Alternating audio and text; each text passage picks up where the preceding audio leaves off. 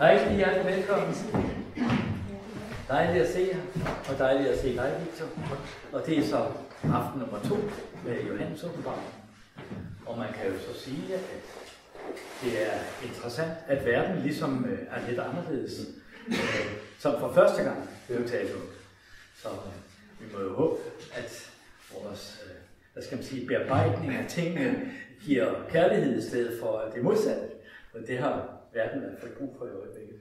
Nej. Men ordet er dit, så velkommen. Jo, tak. Sidste gang, da jeg fortalte om Johannes åbenbaring, der var det jo først og fremmest selve forløbet, historien kunne vi kalde det. Så det, der skete efter hinanden, om man så må sige, de forskellige klagerækker, og øh, hvordan så afslutningen bliver med Guds rige, der kommer på jorden. I dag vil jeg prøve at gå ind i Johannes åbenbaring mere med en form for real kommentar. Altså en kommentar til de ting, som, eller de spørgsmål, der rejser sig omkring læsningen, den forskning, der har været omkring øh, Johannes åbenbaring, og ja, først og fremmest vil jeg så netop præsentere den genre, som Johannes arbejder inden for den, det, som hedder apokalyptikken. Johannes åbenbaring er et apokalyptisk skrift. Det ligger også i selve titlen, Johannes åbenbaring, eller øh, Johannes apokalypse. Det er en genre, en type skrifter, der har været utrolig udbredt i århundrederne før og i århundrederne efter vores tidsregning. Det har sin begyndelse allerede inden for den antikke jødedom. Men rødderne til de apokalyptiske skrifter går langt, langt tilbage. Tilbage til især persisk religion, til astral mytologiske forestillinger, til mesopotamisk mytologi. Altså der har været i den, inden for den genre en række bevægelser bagud. Det er selvfølgelig vanskeligt i dag for forskningen at spore de enkelte ja, øh, mytologier, astralmytologi osv., men til en vis grad kan man godt, om så må sige, stadfæste eller fastlægge nogle af de ting, som Johannes må have arbejdet med. Som jeg sagde før, så er en åbenbaring jo en, det, der hedder en apokalypse. Det kommer af græsk apokalyptegn, og det betyder afsløring eller åbenbaring. Derfor har Johannes øh, skrift jo så fået titlen Johannes åbenbaring. Øh, det er åbenbaringen af den overjordiske himmelske verdens væsen og indretning. Begivenheder ved verdensforløbet, som så igen bliver knyttet sammen hen imod en afslutning af selve verdensforløbet i forhold til den højere verden, som omspænder og omgiver øh, den menneskelige verden. Denne afslutning er nær forestående. Det er en afdækning inden for apokalyptikken af de kræfter, som findes i, som jeg sagde, verdensmagterne, men også i det enkelte menneskes forhold til den verden, som det menneske øh, lever i, det enkelte menneskes historie i forhold til en højere og større historie, og hvad det alt sammen vil føre til. I der husker, og det var sidste gang, husker jo selve forløbet, der netop bevæger sig fra øh, de forskellige øh, hvad hedder, destruktionsrækker hen imod en afklaring, en, ja, en frelse. Det jordiske forsvinder, det himmelske tager det jordiskes plads. Alt det, de tanker, de forestillinger, som er rådende og som øh, kommer til udtryk, det er jo det, som man så kalder for apokalyptikken. Apokalypsen er i sig selv, det er selve åbenbaringen. Apokalyptikken, det er den tankeverden, den forestillingsverden, der frembringer de øh, apokalyptiske skrifter. Den litteratur og de åndelige strømninger, som jo var meget, meget stærke på det tidspunkt, både før og efter Johannes. Øh, nu skal jeg komme tilbage til senere hen, hvem Johannes egentlig er, om vi overhovedet kan tale om ja, en person, vi kender til, eller Johannes er en for os øh, stadigvæk ukendt person. Der er en forsker, der hedder Collins, en amerikansk forsker, som har arbejdet meget med at beskrive, hvad er det, der indgår, hvilke er for elementer, der indgår i selve apokalyptikken.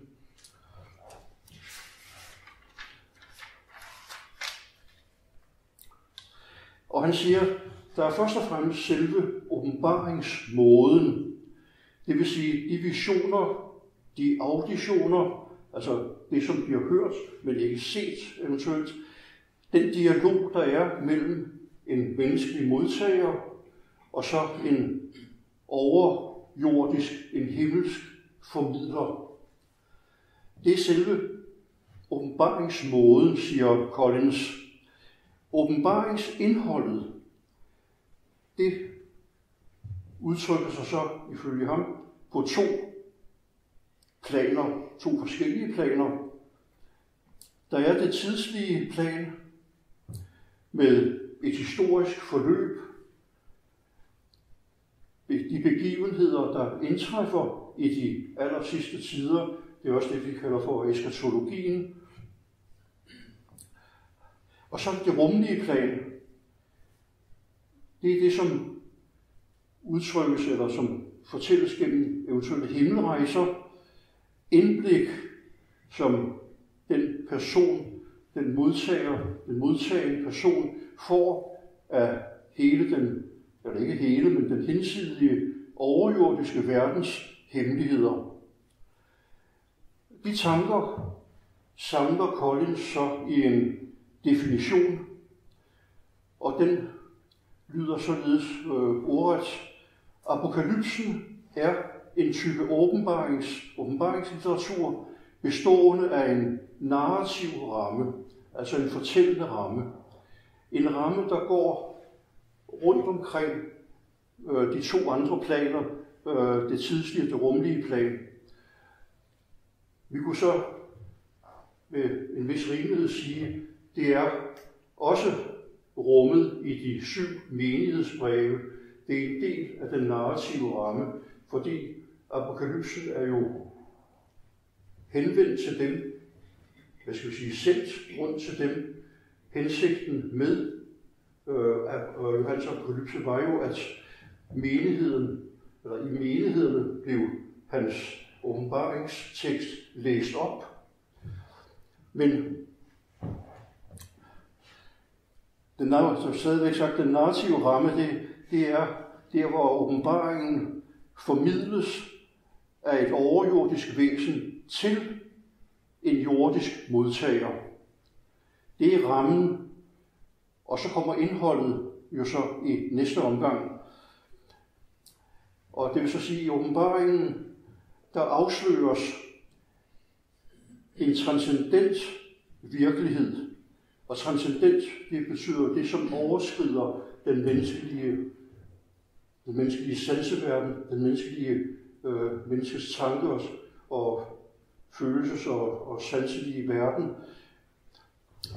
Men så er der også, siger øh, Collins, en temporelt, altså et tidsligt plan.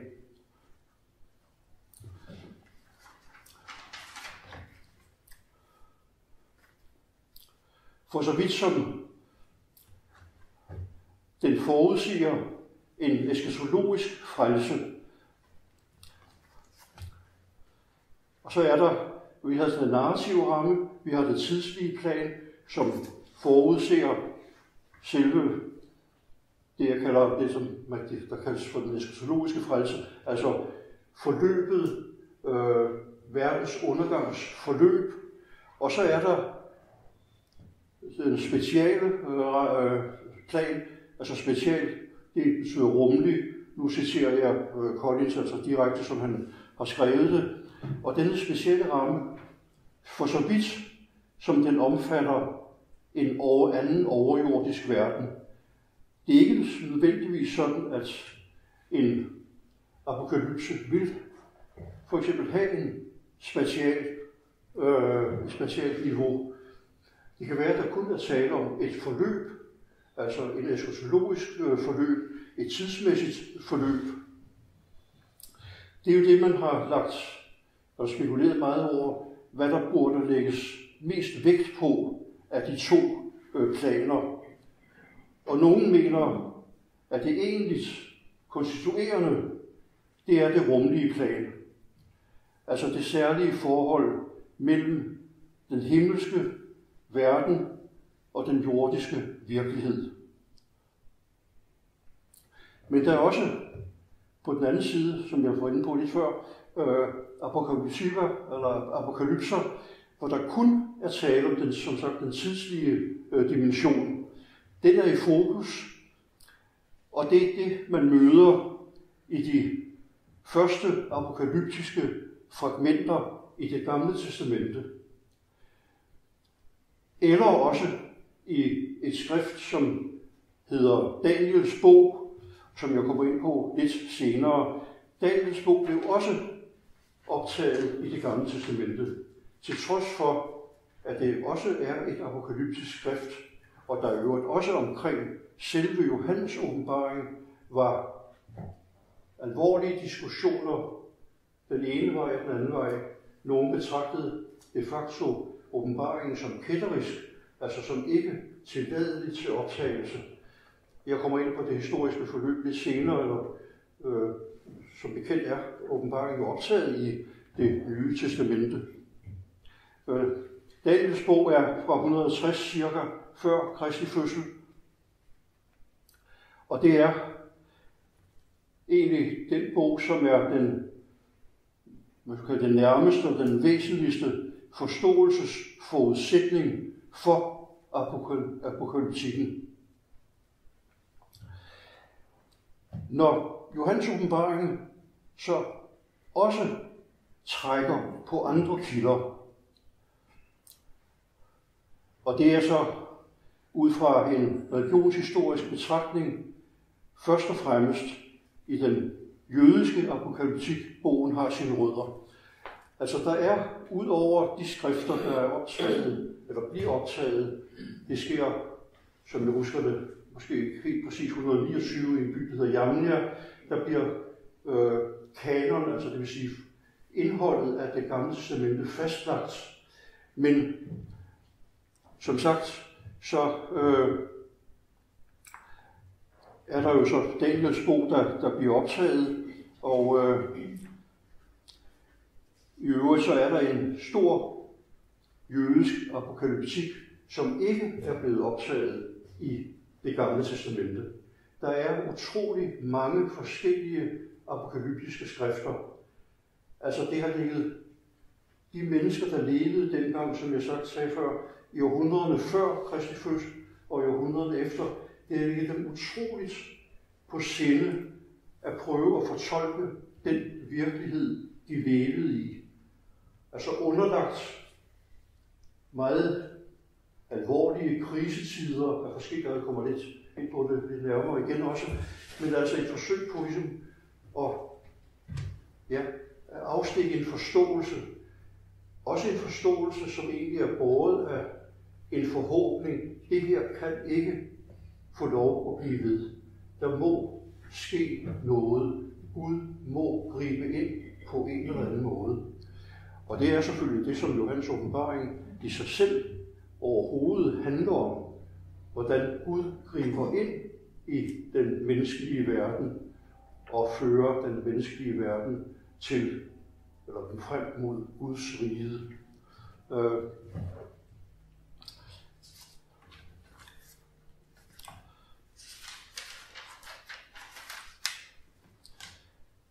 Omkring den jødiske øh, apokalyptik, som jeg nævnte før, der er jo mange træk, som har sine rødder i det gamle testamente, helt naturligt selvfølgelig.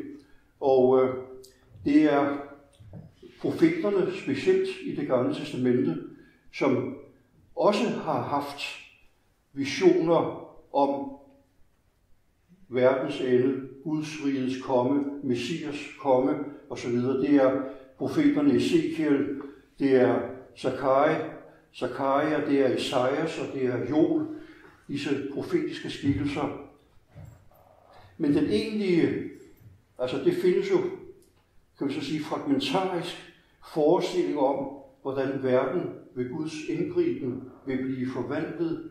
Det er jo som, er selvfølgelig knyttet meget nøje sammen med øh, Messias forestillingen, forventningen om, at Messias skal komme og ændre ja, den historie, de mennesker lever i. Men den første egentlige apokalypse, øh, øh, jødiske apokalypse, som sagt, det er Daniels bog. Det er en mærkelig historie, fordi det er en fiktion, der udgiver sig for at være skrevet i Babylon under det jødiske fangenskab. Og der, ud fra det synspunkt, altså fra det, det, det tidspunkt, der bliver så skrevet øh, en åbenbaring om de fremtidige begivenheder i forhold til det her fiktive udgangspunkt. Selvfølgelig er Daniels bog skrevet, som sagt, omkring 160 plus minus noget. Og det vil sige, at de forudsigelser om det historiske forløb, som bogen har, det er jo egentlig en viden, som forfatteren har i forvejen, men som han forelægger som en profetisk øh, viden. Øh, det bliver kaldt for Vaticanio ex eventu, altså en forudsigelse ud fra begivenhederne. Dette, skal vi kalde det, det profetiske aspekt af Daniels bog, det er ikke så meget det, der måske øh, tiltrækker den største interesse. Øh, altså han beskriver, hvordan verdenskrigerne, altså ud fra øh, positionen i Babylon, hvad der nu vil ske de næste århundreder med de verdensriger, der ud fra det tidsmæssige synspunkt jo var ved at, at komme, øh, bryde frem og udvikle sig. Øh,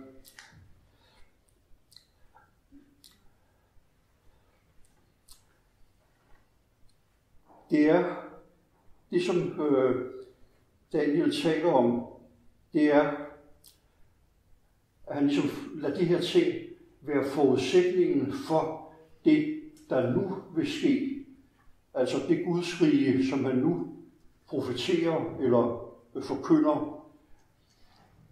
Altså, hvis vi kalder det, de falske profetier, er egentlig forudsætningerne for det, der nu vil ske. Det er ting, der bliver optakten til, at Guds rige endelig vil komme, øh, skriver øh, Daniel.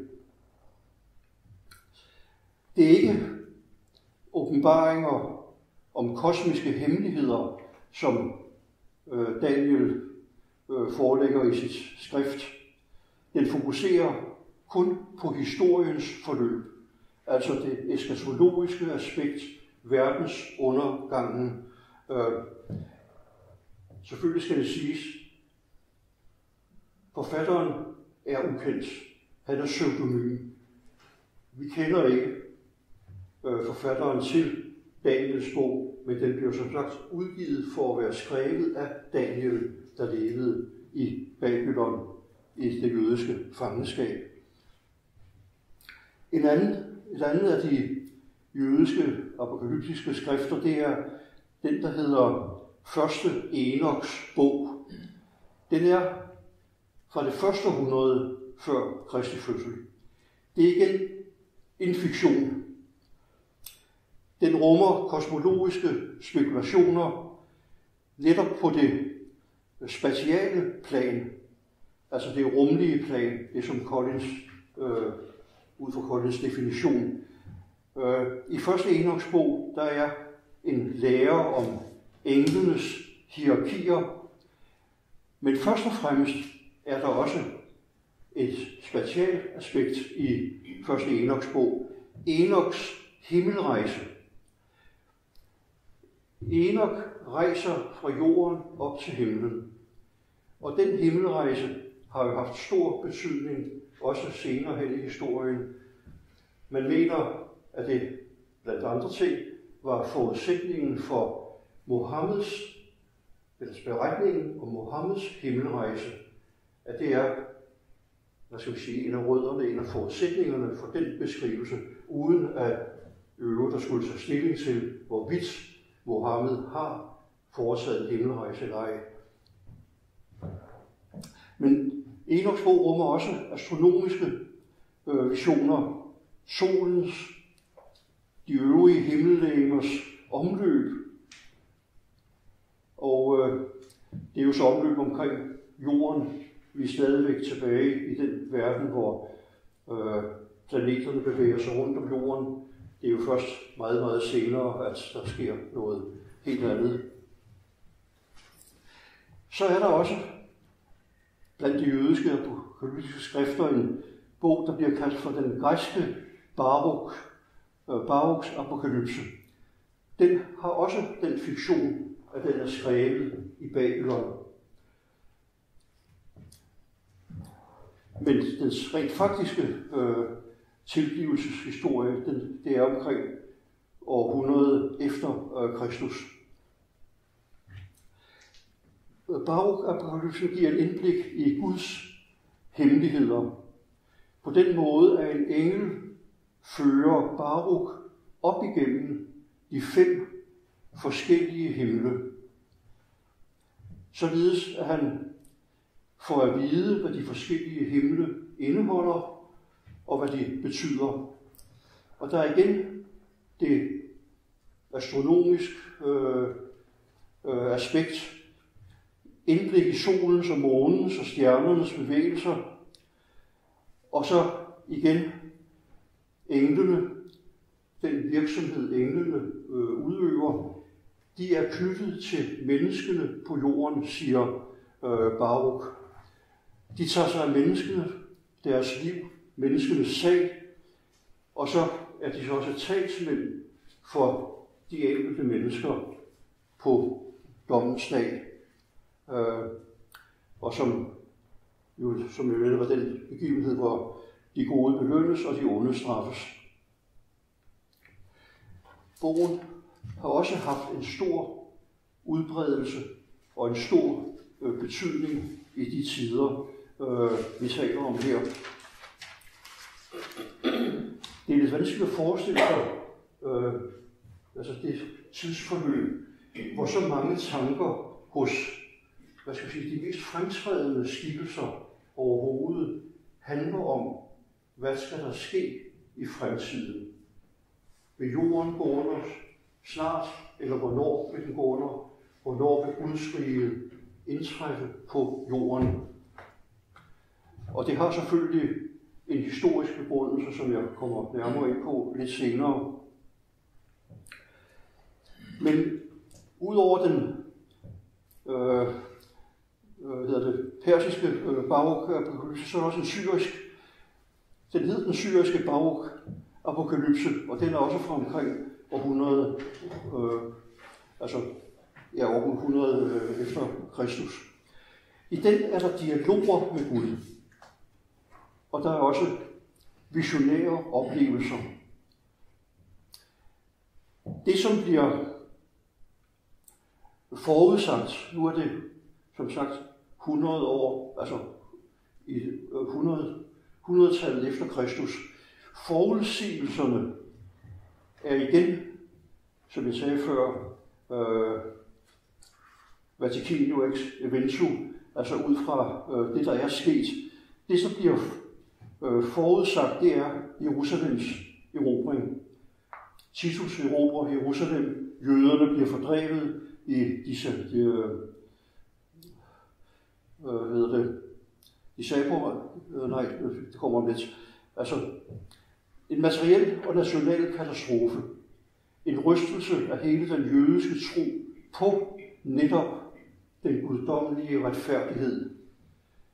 Retfærdighedens gengældelse og det, at en guddommelig kraft styrer øh, historien. Diasporaen, altså det er jødernes fordrivelse rundt omkring øh, efter Jerusalems øh, ødelæggelse. Diasporaen hedder det. Ordet smuttede lidt for mig før. Men igen, så rummer bagapokalypsen altså også en åbenbaring. Og i åbenbaringens form, der forkyndes det så, at Gud ved tidernes ende vil sende Messias.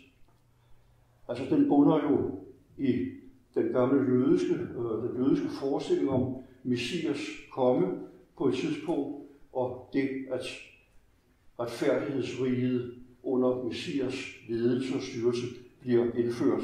Men Gud vil ved tidens ende sende Messias, og han skal så befri Israel for de overgreb, som landet nu har været udsat for forskellige øh, forløbet, de forskellige besættelser, den romerske besættelse i sidste omgang, og øh, Jerusalems ødelæggelse, som sagt, i øh, 72 efter Kristus. Der vil komme en dom over alle folkeslagene ifølge øh, Baruch-apokalypsen, og der vil blive oprettet et underfuldt lyksalighedsrige. Sådan er vist citatet helt præcist. Altså igen, øh, profetiet er rettet imod en ændring af de tider, der er nu. Det er egentlig et grundlæggende træk hele tiden. Det var meget, meget alvorlige og meget, meget belastende øh, tidsforløb, øh, man levede under både jøder, men i højere grad, meget, meget højere grad, de kristne. Vi går længere, lidt længere frem i tiden, omkring slutningen af det første århundrede efter Kristus, der kommer så den bog, der hedder 4. Esras bog. Esra findes i det gamle testamente, men her er nu så føjet en ny, et nyt skrift til. Angiveligt, det angives, at det er skrevet af Esra, og øh, det er så igen den, kan vi kalde det, model, der har været brugt så mange gange før, den babylonske øh, fiktion. Esras bog, 4. Esras bog, udspringer igen af fortvivlelsen over Jerusalems og templets, og det er jo også, altså ikke en by, men det var også templets ødelæggelse, der fandt sted der ved øh, erobring af Jerusalem. Og så igen denne fortvivlelse, denne afmagt, den følelse af håbløshed, stillet over for, jamen hvor er Guds retfærdighed, og hvor er Guds barmhjertighed? Det er som om, eller det opleves som om, Gud har forladt sine mennesker. I Esras bog klages der til Gud, og det er så en engel, der svarer Esra, og så lader englen Esra få forskellige visioner, netop af det, som vil kunne ske, hvis det skal ske i fremtiden, det himmelske Jerusalem. Det Jerusalem, der skal åbenbares ved tidernes ende, der skal være de frelstes hjemsted. Menneskesønnen, der er jo ikke tale om Jesu komme eller genkomst her, vi er stadigvæk inden for den jødiske verden. Menneskesøndens snarlige komme bliver også øh, profeteret. Og det er så vi har igen en, en modsætning og en, en, øh, et sammenfald. På den ene side et modsætningsforhold mellem den officielle jødiske religion og så apokalyptikken. Øh, men altså igen apokalyptikken, som går ud over den officielle øh, jødiske religion og bliver, eller manifesterer sig som en alternativ åndsstrømning. Det, der er karakteristisk kendetegnende for de skrifter, jeg har nævnt for jer her, det var, som jeg var inde på tidligere, anonymiteten. Ingen kender navnene på dem, der har skrevet de her forskellige bøger. Der er sat et navn på, ja, Enoch og øh, Esra og Daniel osv., men det er så det ene træk, der øh, øh, er gennemgående. Men det, der er nok så vigtigt, og som jeg også var lidt inde på tidligere, det er, den grobund, den jordbund, som apokalypserne jeg skal sige, spiger fremad, vokser fremad, det er jo krisetider. Det er de tider, hvor, ja, hvor samfundet øh, går i stykker, hvor mennesker dræbes og forfølges. Og det er jo så helt tilbage til, øh, øh, hvad hedder det, øh, Maccabæernes oprør mod de syriske besættere. Ham, der anbragte en Zeus-statue inden for, templet, inden for templets mure. Altså, det er katastrofetider. Det lykkes at overvinde besættelsesmagten. Der kommer så en overrække, hvor den slægt, der hedder Hasmodeerne, er herskende i ja, Israel, men så kommer så igen i næste omgang den romerske besættelse, og vi har jo så Herodes og den anden Herodes, Herodes Antipas, de skikkelser, der nu dukker op, og som ikke øh, ja, har nogen særlig øh, skøn øh, historie omkring sig. Men samtidig med, at hele baggrunden for apokalyptikken er disse forfærdelige krisetider, som altså kan hvad skal jeg sige, øh, beskrives meget mere, end jeg har gjort det her selvfølgelig. Det er virkelig et øh, indgreb i den jødiske verdens identitet som øh, jøde, ja, som jødedom. Øh, men samtidig så rummer de apokalyptiske skrifter jo også den modgående bevægelse, nemlig trøsten i modløsheden. Det er ikke kun altså ulykker og tilintetgørelse, der bliver øh, remset op, men samtidig er der også indbygget modsætningen, trøsten. Det her vil gå over. Det vil have et forløb, men det vil blive vendt og ændret til sin modsætning. Den snarlige dom vil komme, og den er snarlig ved tidernes ende. Og ved tidernes ende, der er det kommende Guds rige, der nu vil fremtræde. For nogle af de jødiske apokalyptikere, der er det jo et messiasrige, der skabes. For andre er det efterfølgende et Guds rige. Påvirkningen inden for den jødiske tankeverden er jo, altså ligesom den jødiske tankeverden, altså den jødiske apokalyptik, er, hvad skal jeg sige, øh, inspirationen, grundlaget for blandt andet skabe Johannes åbenbaring, men også øh, til en vis grad øh, andre kristne skrifter, så er inden for den jødiske apokalyptik, det er det, der hedder visdomslitteraturen. Der har man også overvejet, hvad skal der ske, hvad vil der ske i en fremtid. Og de to mest markante bøger inden for den litteraturgruppe, det er det den gruppe, der bliver kaldt for ordsprogenes bog, og det er den anden øh, gruppe, der hedder øh, øh prædikernes øh, bog, Koheles. Øh, det var et spørgsmål, da den jødiske kanon, eller okay, kanonkanon skulle fastlægges, om man ville optage prædikernes bog. Det blev den så, øh, men det er så en anden historie. Men det er igen to meget, meget kraftfulde og virksomme øh, skrifter inden for den apokalyptiske øh, litteratur.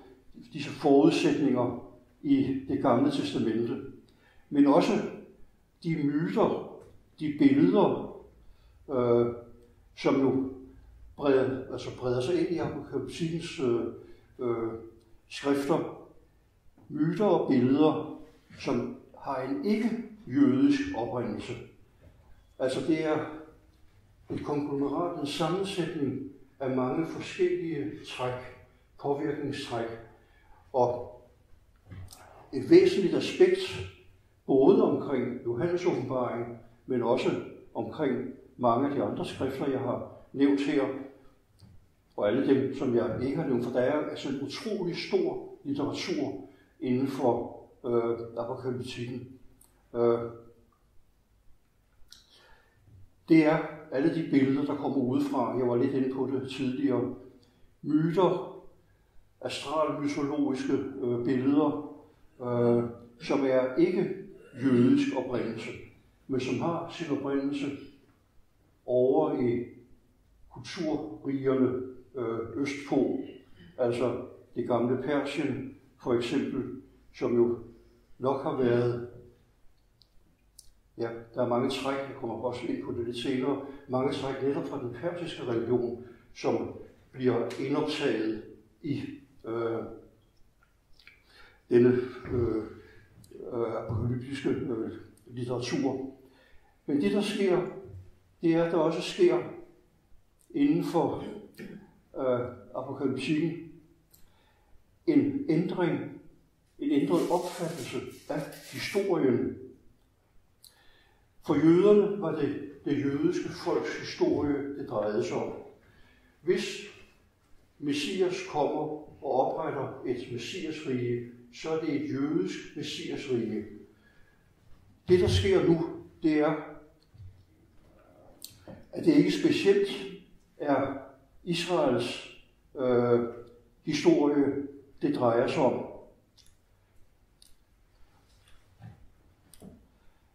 Det er historien. Historien er en kosmisk begivenhed. Altså det er det træk, der mere og mere får indslag, og specielt jo selvfølgelig i Johannes åbenbaring. Altså, historien er en kosmisk begivenhed. Den omfatter ikke kun et historisk forløb inden for det jødiske, øh, den jødiske verden, men der er tale om ikke at kun at modstanderne, undertrykkerne i Israel skal bekæmpes, men der er tale om verdensriger, der skal omstyrtes. Og det er det, vi møder netop i Johannes øh, åbenbaring. Hele verden, verdensrigerne øh, omstyrtes.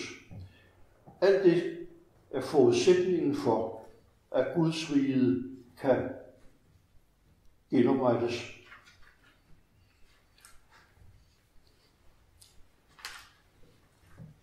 Ja.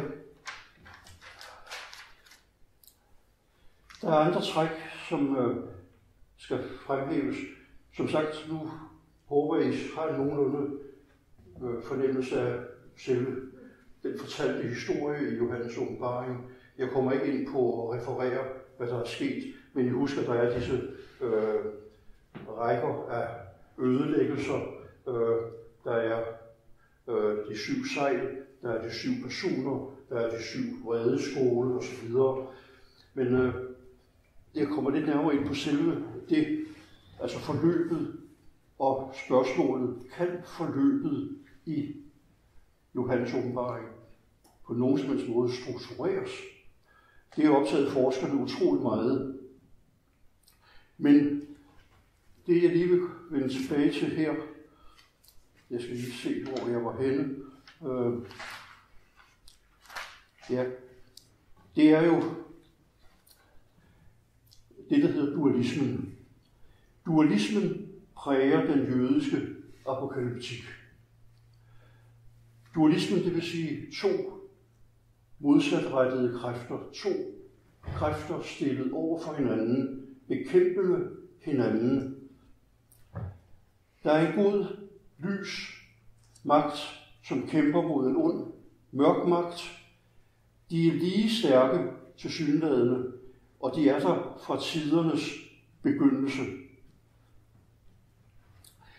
Den tanke har sandsynligvis, måske også andre oprindelser, men sandsynligvis en oprindelse i den gamle persiske religion. Der sker det på et tidspunkt, at der øh, Zarathustra eller Zoroaster, som han hedder derovre, indfører eller gennemfører en religiøs reform. Og det er så en omvæltning, kan man så sige, af den tidligere persiske religion. Men i den nye, ja, den nye religion, den nye øh, religiøse aspekt, som øh, Zoroaster øh, fremfører, der er netop de to magter, den onde magt og den gode magt, stillet over for hinanden. De hedder Ormats og Ahriman. Ahriman er den onde magt, Ormats er den gode magt. Men den persiske religion har indbygget det lykkelige aspekt, at den gode magt vil vinde til sidst. Der er altså en forudbestemmelse af forløbet mellem, altså i denne dualistiske modsætning. Tankegangen har også præget øh, kumranmenigheden, eller menighederne, der er jo mange, dem vi også kalder for essayerne, Ødehavsruterne, øh, dem som jo ja, indlejrede og gemte det, som senere hen blev udgravet, som blev kaldt for dødehavsruterne. Øh, der, i et af de skrifter, der er også netop beskrevet krigen mellem lysets og mørkets børn. Altså vi har nu en apokalyptik, som kan beskrives som en dualisme på det kosmiske plan, modsætning mellem himmel og jord, men det er også en dualisme på et tidsligt plan. En eskatologisk dualisme, en ond, ond verden, som opløses, beherskes, bekæmpes mere og mere, og som fører hen imod en ny, øh, anderledes verden. Det er altså den dualisme igen, den onde verden, den nuværende onde verden, og så den kommende nye øh, verden. Og det er selvfølgelig den verden, der træder frem og træder øh, i virksomhed, når Guds rige øh, gennemføres. Øh.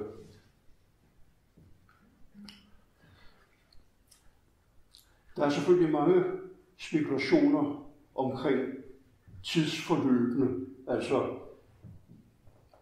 hvilke, hvad skal vi kalde det, øh, hvilke tidsforløb vil disse begivenheder have, altså periodespekulationer kunne man også godt kalde det, hvor lang tid, hvor kort tid, øh, hvornår. Men det hele er også baseret, ud over øh, denne dualisme, som jeg beskrev for jer før, den gamle hellenistiske øh, lære om de to æoner, altså de to verdener. En ny himmel og en ny jord vil komme. Altså den første æon er det jordiske, det jordiske liv under trængsler og, og øh, ja, smerter på en her måde, men en ny verden og en ny himmel træder frem. Det kan beskrives på mange forskellige øh, måder. Øh, den onde verden, altså som den ene æon, og øh, den nye anderledes verden som den anden æon. Det bunder i videreførelsen af Platons tanker hos den filosof, der hedder Plotin, som netop arbejder med de begreber Gud skaber æoner. Og det er jo så også en tankegang, som er trængt ind. Altså, der er jo ingen tvivl om, at alle disse forskellige tanker og forestillinger, de har jo været spredt ud blandt folk, altså først og fremmest den gruppe forfatter, vi taler om her, sådan at nogen har haft mere viden, og nogen har haft mindre viden, men meget viden, også fra den gamle hellenistiske tid, er jo blevet overført og overleveret, lever stadigvæk som en del af den tankeverden, som nye tanker bliver skabt ud fra.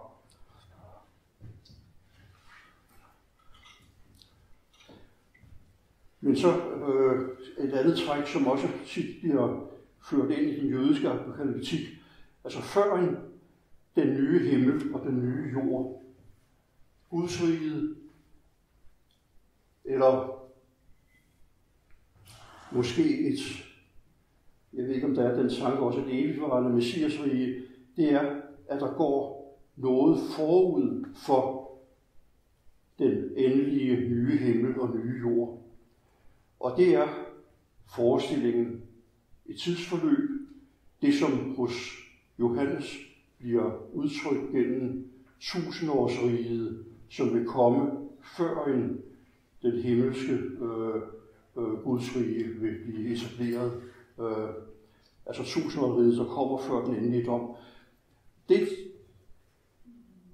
øh, forudgående forløb har forskellige øh, hvad siger, rækkevidde. Nogle taler om 70 år, nogle taler om 400 år. Øh, på et tidspunkt bliver tanken om 1000 øh, tallet ligesom, øh, jeg ved ikke, hvem der gennemfører den tankegang, men det er ud fra udskabelse af, øh, af jorden og verden osv., der kan man så udlede et tusindtal. Og det er jo så det, som vi kommer ind på også lidt senere i øh, Johannes øh, åbenbaring. Dette forudgående forløb før Kristi komme, før øh, Messias komme, eller under Messias, det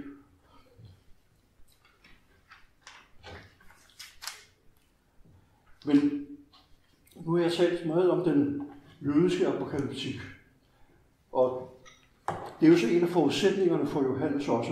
Han har kendt disse skrifter ja, mere eller mindre dybgående. Det kan vi jo ikke i dag på nogen måde kontrollere eller sige, det har han bare kendt til. Men noget har han kendt. Hele den apokalyptiske tankegang, øh, vi kunne kalde det ideologi, har været ham bekendt. Den Johannes, som skriver åbenbaringen. Men der er også andre forudsætninger. Der er ikke kun en jødisk apokalyptik. Der er også en kristen apokalyptik men i meget, meget mindre øh, markant udfoldelse og udtryk. Jeg skal lige hurtigt se, hvad klokken er blevet. Nej, vi skal lige øh, arbejde som et øjeblik mere. Øh, Jesu forkyndelse opbefatter jo også tanken om Guds rige. Guds rige, der kommer. Øh, Guds herredømme er ganske nær. En ny himmel og en ny jord vil komme. Men Jesus udmaler aldrig nogensinde øh, i detaljer den kommende verden. Det er altså ikke en apokalyptik den forstand, at den beskriver detaljeret det, der vil komme, men det, at der vil komme noget. Guds rige kommer. Guds rige er nær. Guds rige er allerede inde i jer. Øh, Jesus er det afgørende tegn på Guds riges komme. Altså hans person, hans tale, også hans livsskæbne, kunne man måske sige, er forudsætningen for også det, han kalder menneskesøndens komme. Han omtaler sig jo selv ikke som en messias. Det er en betegnelse, der kommer meget senere. Men han betegner sig som menneskesønnen, både i tredje person, menneskesøndens komme, men også i første person. Han omtaler også sig selv som menneskesønnen. Og på samme måde vil man kunne sige, at mange af Jesu lignelser øh, også er eskatologiske, altså peger hen imod en højere verden, en højere verdens komme. I de tre første evangelier, altså dem, der går forud for øh, Johannes evangeliet og Apokalypsen også, der tales også om de sidste tider, og der tales også om menneskesøndens komme. Det er det, der hedder parosien. Og øh, der er så vidt, altså den kristne apokalyptik kunne kaldes for en kort apokalypse. Øh, eller for den, altså en kort apokalypse, den synoptiske apokalypse. Der er træk, der kunne ligesom konstituere en form for apokalyptik, men altså som sagt en meget kort. Øh, også fordi meget stof i det nye testamente har stof til fælles med den jødiske apokalyptik. Specielt Paulus har jo i 1. Thessalonikerbrev netop en beskrivelse af Jesu genkomst. Altså det, der hedder parosien. Jesus vil komme på skyerne, og som Paulus også får til, det vil ske, mens I stadigvæk lever. Altså Paulus forudser Jesu genkomst på skyerne. Øh, men det skete jo ikke, som bekendt. Og derfor ændres forestillingen om, ja, om Jesu genkomst, sådan at det bliver det forventningstræk, som jo går igennem hele den øh, Johannes øh, åbenbaring, forventningen om, hvornår sker det. Og hele tiden bliver der så sagt, det sker snart, det sker snart. Det bliver gentaget hele apokalypsen igennem.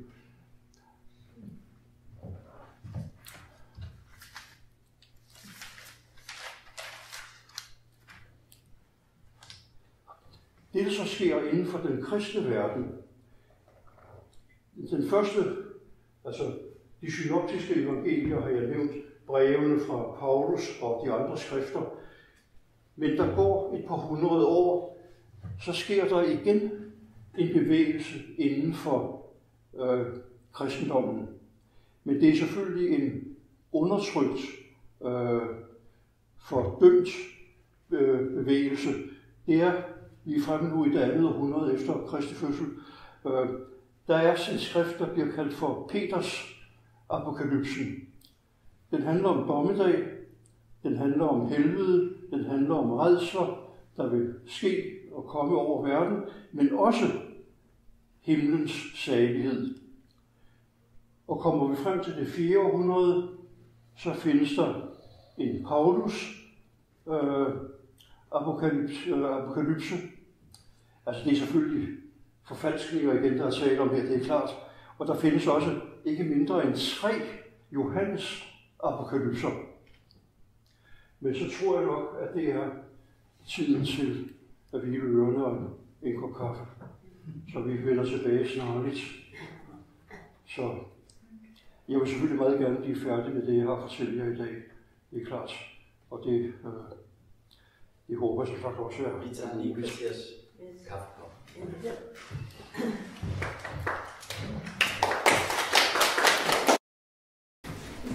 Nu vil jeg vende blikket mere imod Johannes åbenbaring.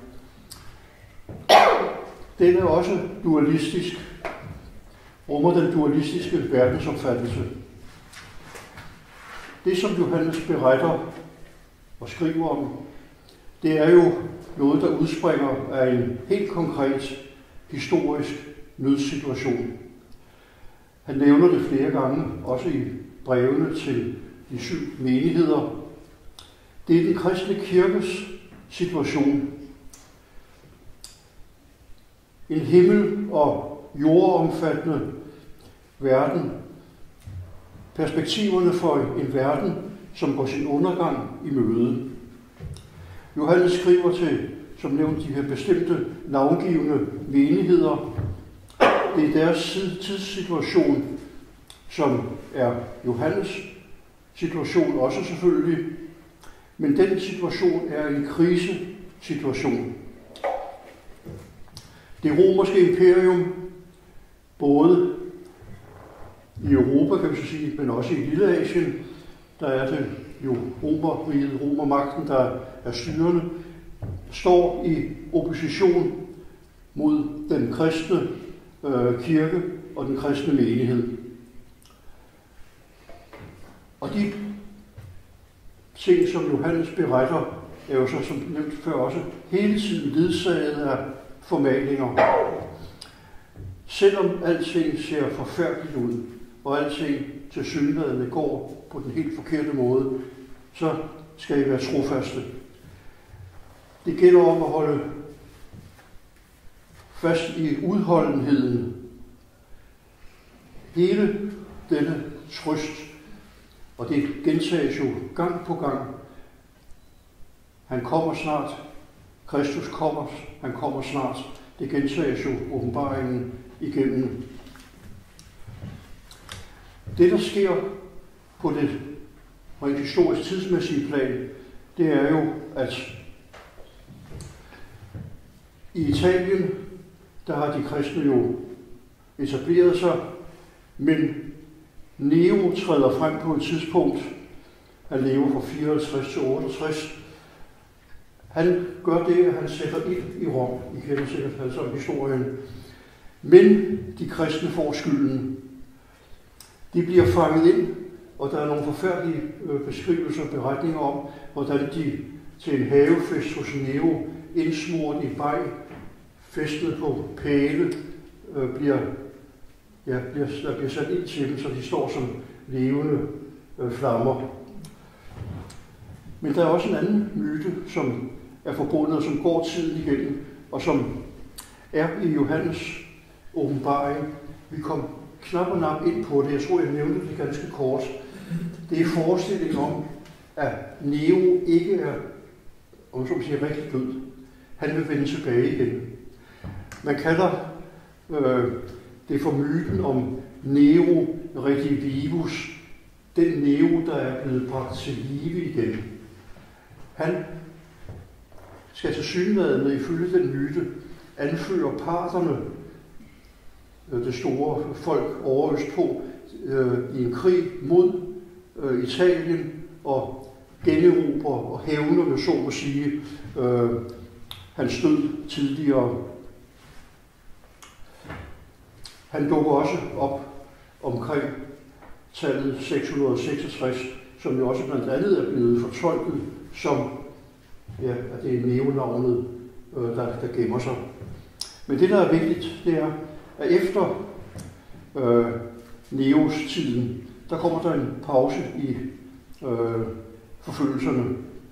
Og øh, de bliver så igen genoptaget netop på det tidspunkt, hvor ham vi kalder Johannes øh, lever under kejser Domitian. Og det er altså i årene 81 til 96. Muligvis mener man, er apokalypsen skrevet ja, netop i år, det er 93-94 på det tidspunkt der, men altså under, øh, stadigvæk under øh, Domitian. Det er affattelsestiden. stedet det er i det vestlige Lille Asien, det rent geografiske sted. Og Johannes fortæller om sig selv, hvordan han skriver på øen Patmos, altså øh, forvist for sin tro og, og andre ting, måske netop til det sted, altså Patmos, hvor man forviste forskellige øh, uønskede øh, folk. Det er altså ikke en straffedom i sig selv, en fysisk straffedom, men en isolation, en, det at blive fjernet, så at sige. Og så er der selve forfatteren, og det kunne man måske, det vil jeg ikke gøre, det er jeg heller ikke vide nok til, men altså, hvem var forfatteren? var det Jesu disciple af samme navn, altså Johannes. Ham, der også skrev Johannes øh, evangeliet.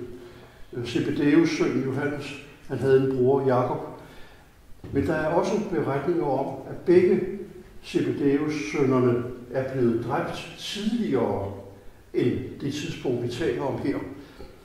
Altså må der være tale om, hvis den teori og den tanke er holdbar, så må der være tale om en anden forfatter end Johannes. Der har vi så nævnt en person, der blev kaldt for presbyteren Johannes, altså den gamle Johannes. Og det er så nogen, der har været meget inde på, at det skulle være en mulig forfatter til apokalypsen. Egentlig er det ikke det allervigtigste. Den foreligger som tekst, og det er det, der er det vigtige. Forfatterskabet, ja, det kan man så inden for de der kredse diskutere meget frem og tilbage om. Men øh, som sagt, om presbyteren Johannes er blevet fremhævet øh, flere gange. Efterhånden som tiden går, så skal spørgsmålet jo tages op. Der foreligger en tekst her. Skal den optages, indoptages i det nye testamente, eller er det en tekst, man vil øh, jeg betragter som kætterisk, for det, øh, det er, sådan har man også betragtet Johannes åbenbaring.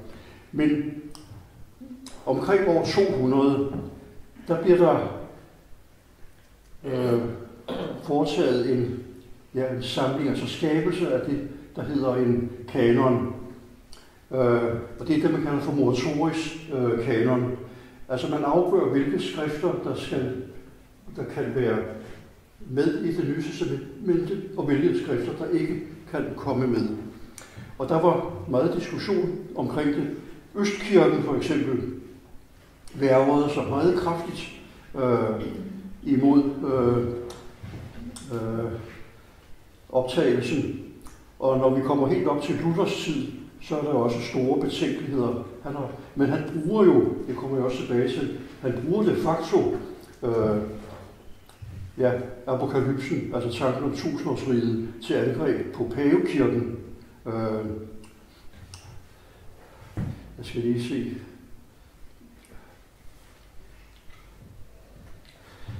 Ja, det er, men altså optaget blev øh, øh, Johannes åbenbaring, som sagt,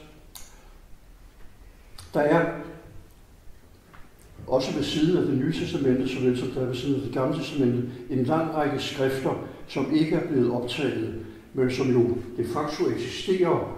Og øh, det, øh, ja, de har mange gange en meget stor øh, betydning, fordi de jo har været grundlag for den viden, som de forskellige kirkefædre har tilegnet sig op igennem tiderne, og som jo også den dag i dag foreligger som hvad skal vi kalde det, alternative øh, øh, beretnings, øh, beretninger. Øh, det er det, man kalder for de apokryfe bøger. Det betyder dem, der er øh, færd, øh, skubbet til side væk, og så er det blevet øh, skjult eller gemt. Øh, det ligger i øh, øh, krypto. Men der var lige en ting, jeg ville nævne omkring det også. Øh, Nå, nu smutter det lige et kort øjeblik. Øh, Jo, altså et skrift, som øh, nu er vi lidt for Johans åbenbaring, et skrift, som dukkede op her i det var omkring 80'erne, men har vidst, det eksisterede. Det er det, man kalder for øh, Judas evangeliet. Det er igen et skrift, som selvfølgelig aldrig nogensinde bliver optaget i det nye testamente, men som jo har haft en utrolig stor øh, betydning for mange mennesker. Det blev holdt skjult til det næsten var gået stykker, rent manuskriptmæssigt, bliver så rekonstrueret øh, eller gendannet, men med mange huller indimellem. Men det er det alternative evangelium til de synoptiske evangelier, der fortæller om Judas. Altså forræderen Judas, der øh, fornægter og angiver sin herre, mens Den anden historie hedder, Jesus beder selv Judas om at gøre det, han gør. For at Jesus kan bevæge sig, nu er hans gerning og tid færdig på jorden, kan bevæge sig fra det jordiske til det himmelske. Og for at kunne gøre det hurtigt, ja, så skal der en død til, og det er så døden på korset. Det er i sig selv meget, meget, det kan anbefales. Der er, jo, der er lavet en dansk tekst, som er, altså man skulle tro, det var løgn, men det, det handler ikke om, om den Judas, men om en anden Judas. Øh, jeg har en engelsk udgave med de forskellige øh, kommentarer og tekststykker til. Det er meget, meget spændende læsning. Man kunne gå hen og spørge sig selv, jamen kunne det være sandt? Men det, det kan jeg ikke afgøre. Det skal jeg heller ikke kunne afgøre. Det skal ingen kunne afgøre.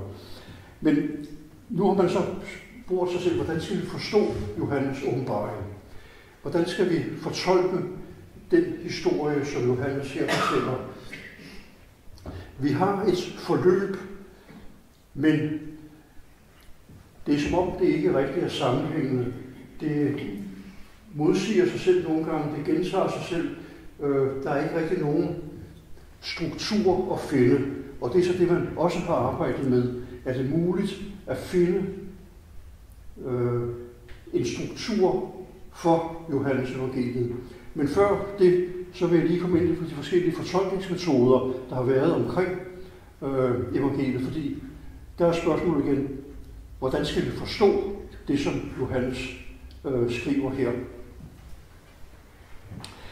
Og der har så været forskellige øh, metoder. Den første, det var det, man kalder den kirkehistoriske metode. Det er antagelsen, at Johannes åbenbaring ligesom har forudsagt udviklingen inden for den kristne kirke.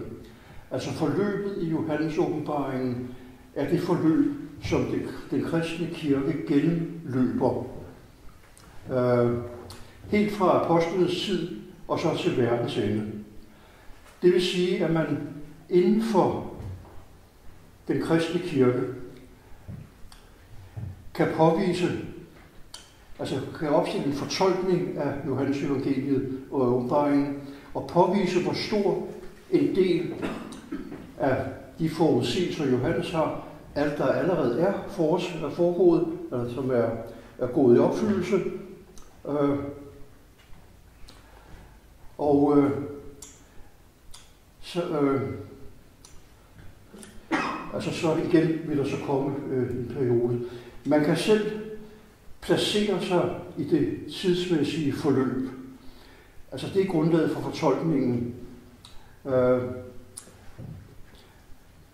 altså den, der for, vil fortolke det øh, øh øh, øh, øh, øh, apokalypsen, øh, finder eller mener at kunne finde sin placering i det forløb, det historiske forløb, som øh, apokalypsen øh, øh, angiver. Og i det forløb, altså i den position, der kan man så sige, her har Johannes forudset de og de begivenheder, men også måske de og de personer, og det er det, der er fortolknings, øh, hvad skal vi kalde det, redskabet, eller indsigten med fortolkningen, det er, at man så i sin samtid kan identificere forskellige personer, altså historiske personer, og forskellige øh, begivenheder. Og det vil så sige, at man kan udpege den og den og den og den til at være for eksempel antikrist eller andre øh, skadelige øh, øh, dæmoniske skikkelser.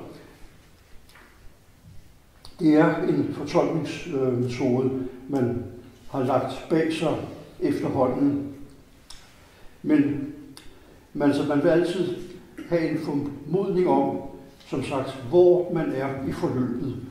Det er en, hvad skal vi kalde det, en meget dristig øh, fortolkningsmodel, som ligesom suverænt øh, ja, fortolkeren trænger som så at sige suverænt ind i et forløb, som man så bestemmer, egentlig selv bestemmer nærmere.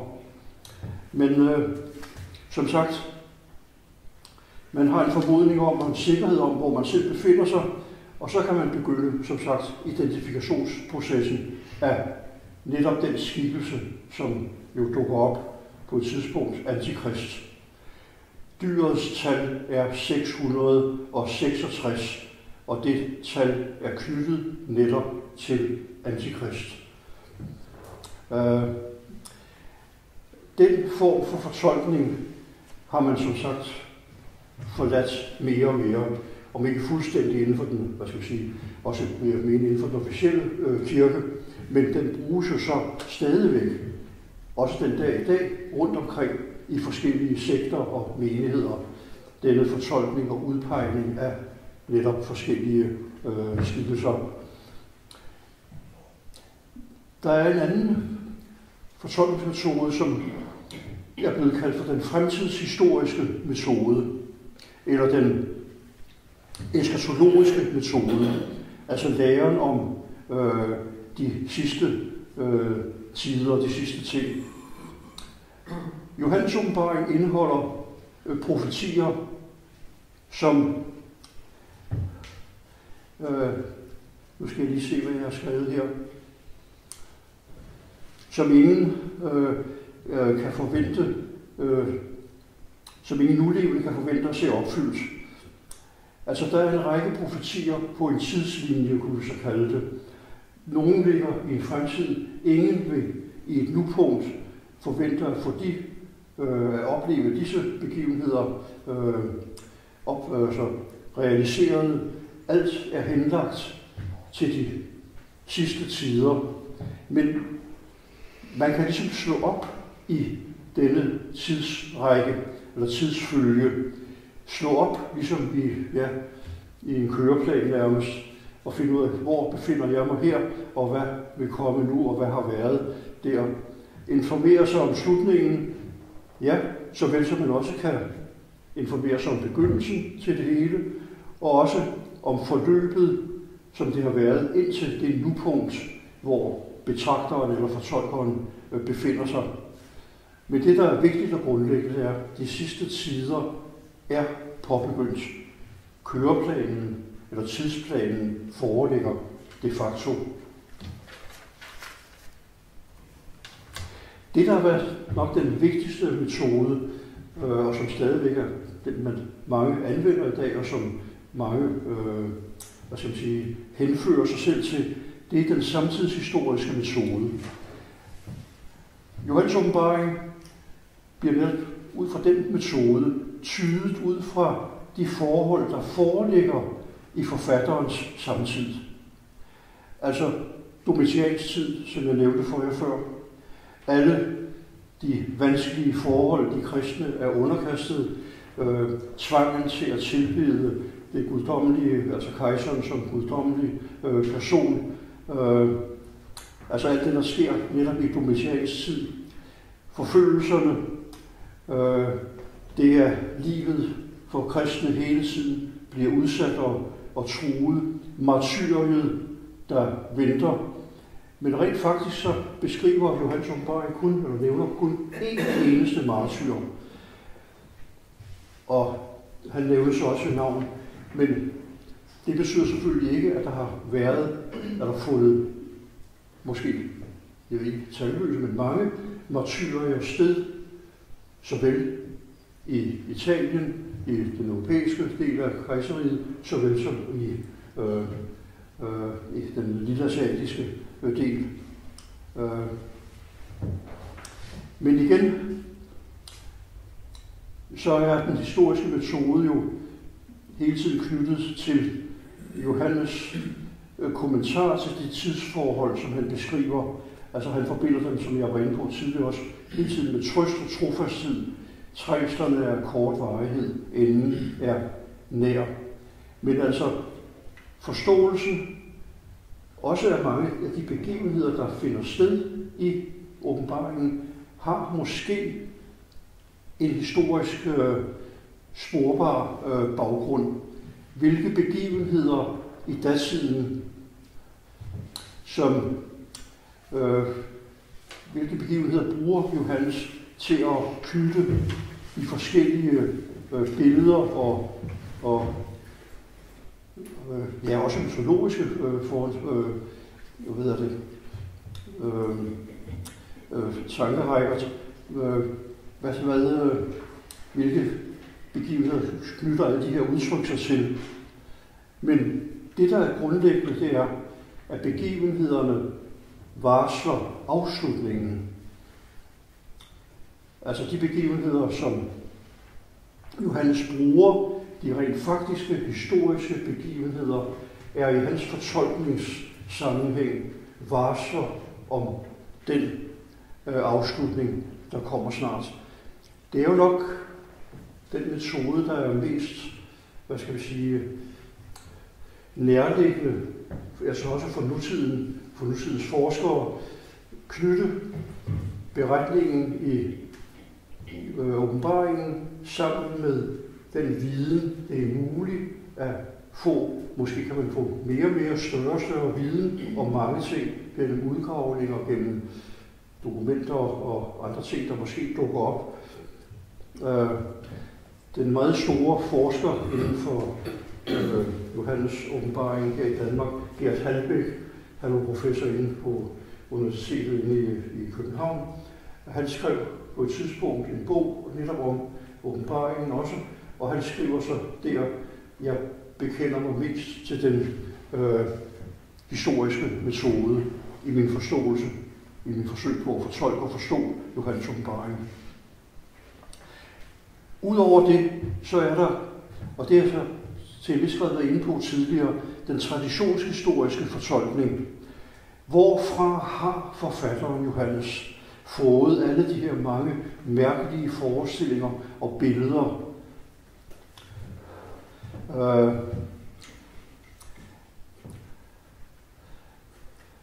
han har fået meget fra det gamle testamente, men han har også fået, som jeg nævnte for jer tidligere, meget fra andre kulturer, meget fra andre religioner. Hele, og det var jo det, som jeg også nævnte for jer tidligere, altså man har i datiden haft et apokalyptisk materiale, som er blevet overleveret nærmest fra generation til generation, men som også har sit udspring og oprindelse over i den østlige verden. Altså fra folk til folk er mange mytologiske, astralmytologiske forestillinger blevet videregivet, og det er så det, der også er kilden, kildematerialet, øh, grundlaget for udformningen af den apokalyptiske litteratur. Jeg nævnte før tilbage til Babylon og til persisk øh, mytologi. Jeg kommer ind på det til allersidst i dag øh, med et eksempel, hvordan man netop, øh, eller hvordan Johannes netop bruger forskellige mytologiske beretninger og knytter dem, eller måske er de altså oprindelsesgrundlaget, det øh, næringssubstrat, som hans billede springer ud af, det er billedet om den guddommelige kvinde og det guddommelige barn. Men det kommer vi tilbage til øh, senere hen.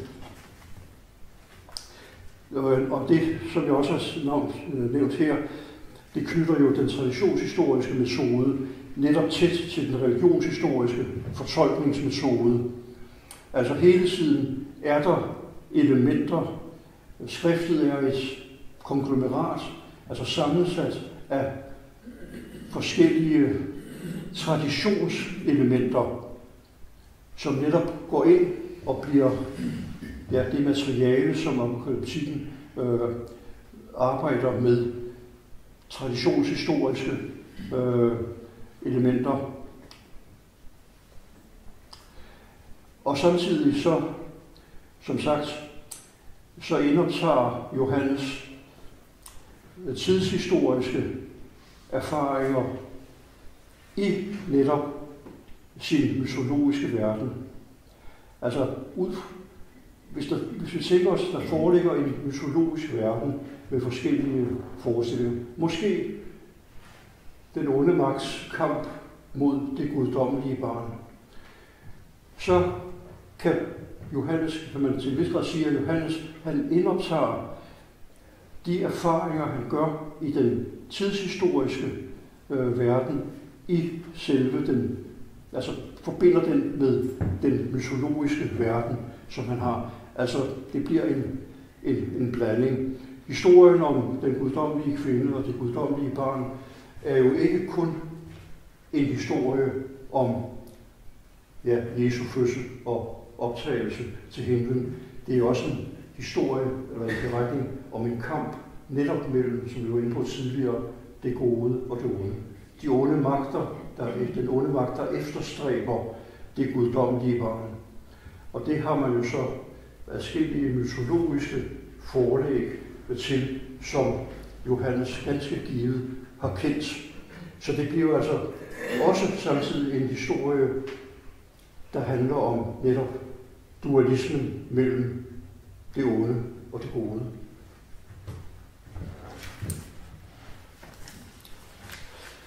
Udover det, så har der været mange nyere fortolkningsmetoder, og de har mange af dem, der er også en dansk forsker, en kvindelig forsker, man har prøvet at ligesom tage udgangspunkt i de hymner eller sange, som jo går igennem øh, Johannes åbenbaring hele tiden, ligesom alle dem øh, på en eller anden måde kunne afspejle den daværende, der, dengang eksisterende kristne gudstjeneste.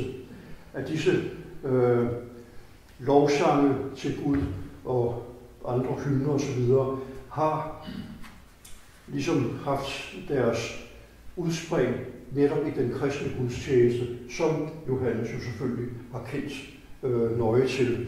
Han sidder godt op på Patmos, men han har jo været i gang tidligere som profet og som forkynder øh, rundt omkring.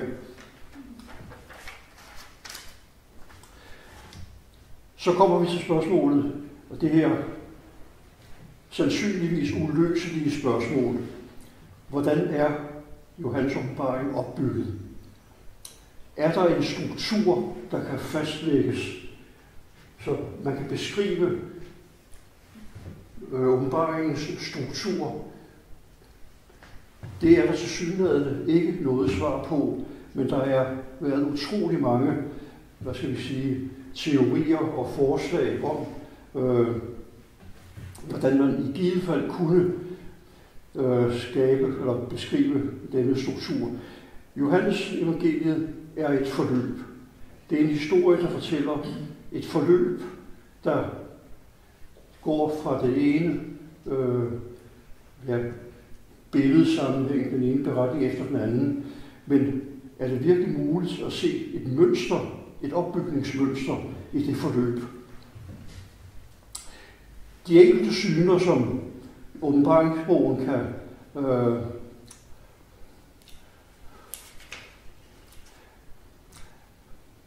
Altså de enkelte syner, som findes i åbenbaringsbogen, kan eventuelt betragtes som en række parallelle øjebliksbilleder,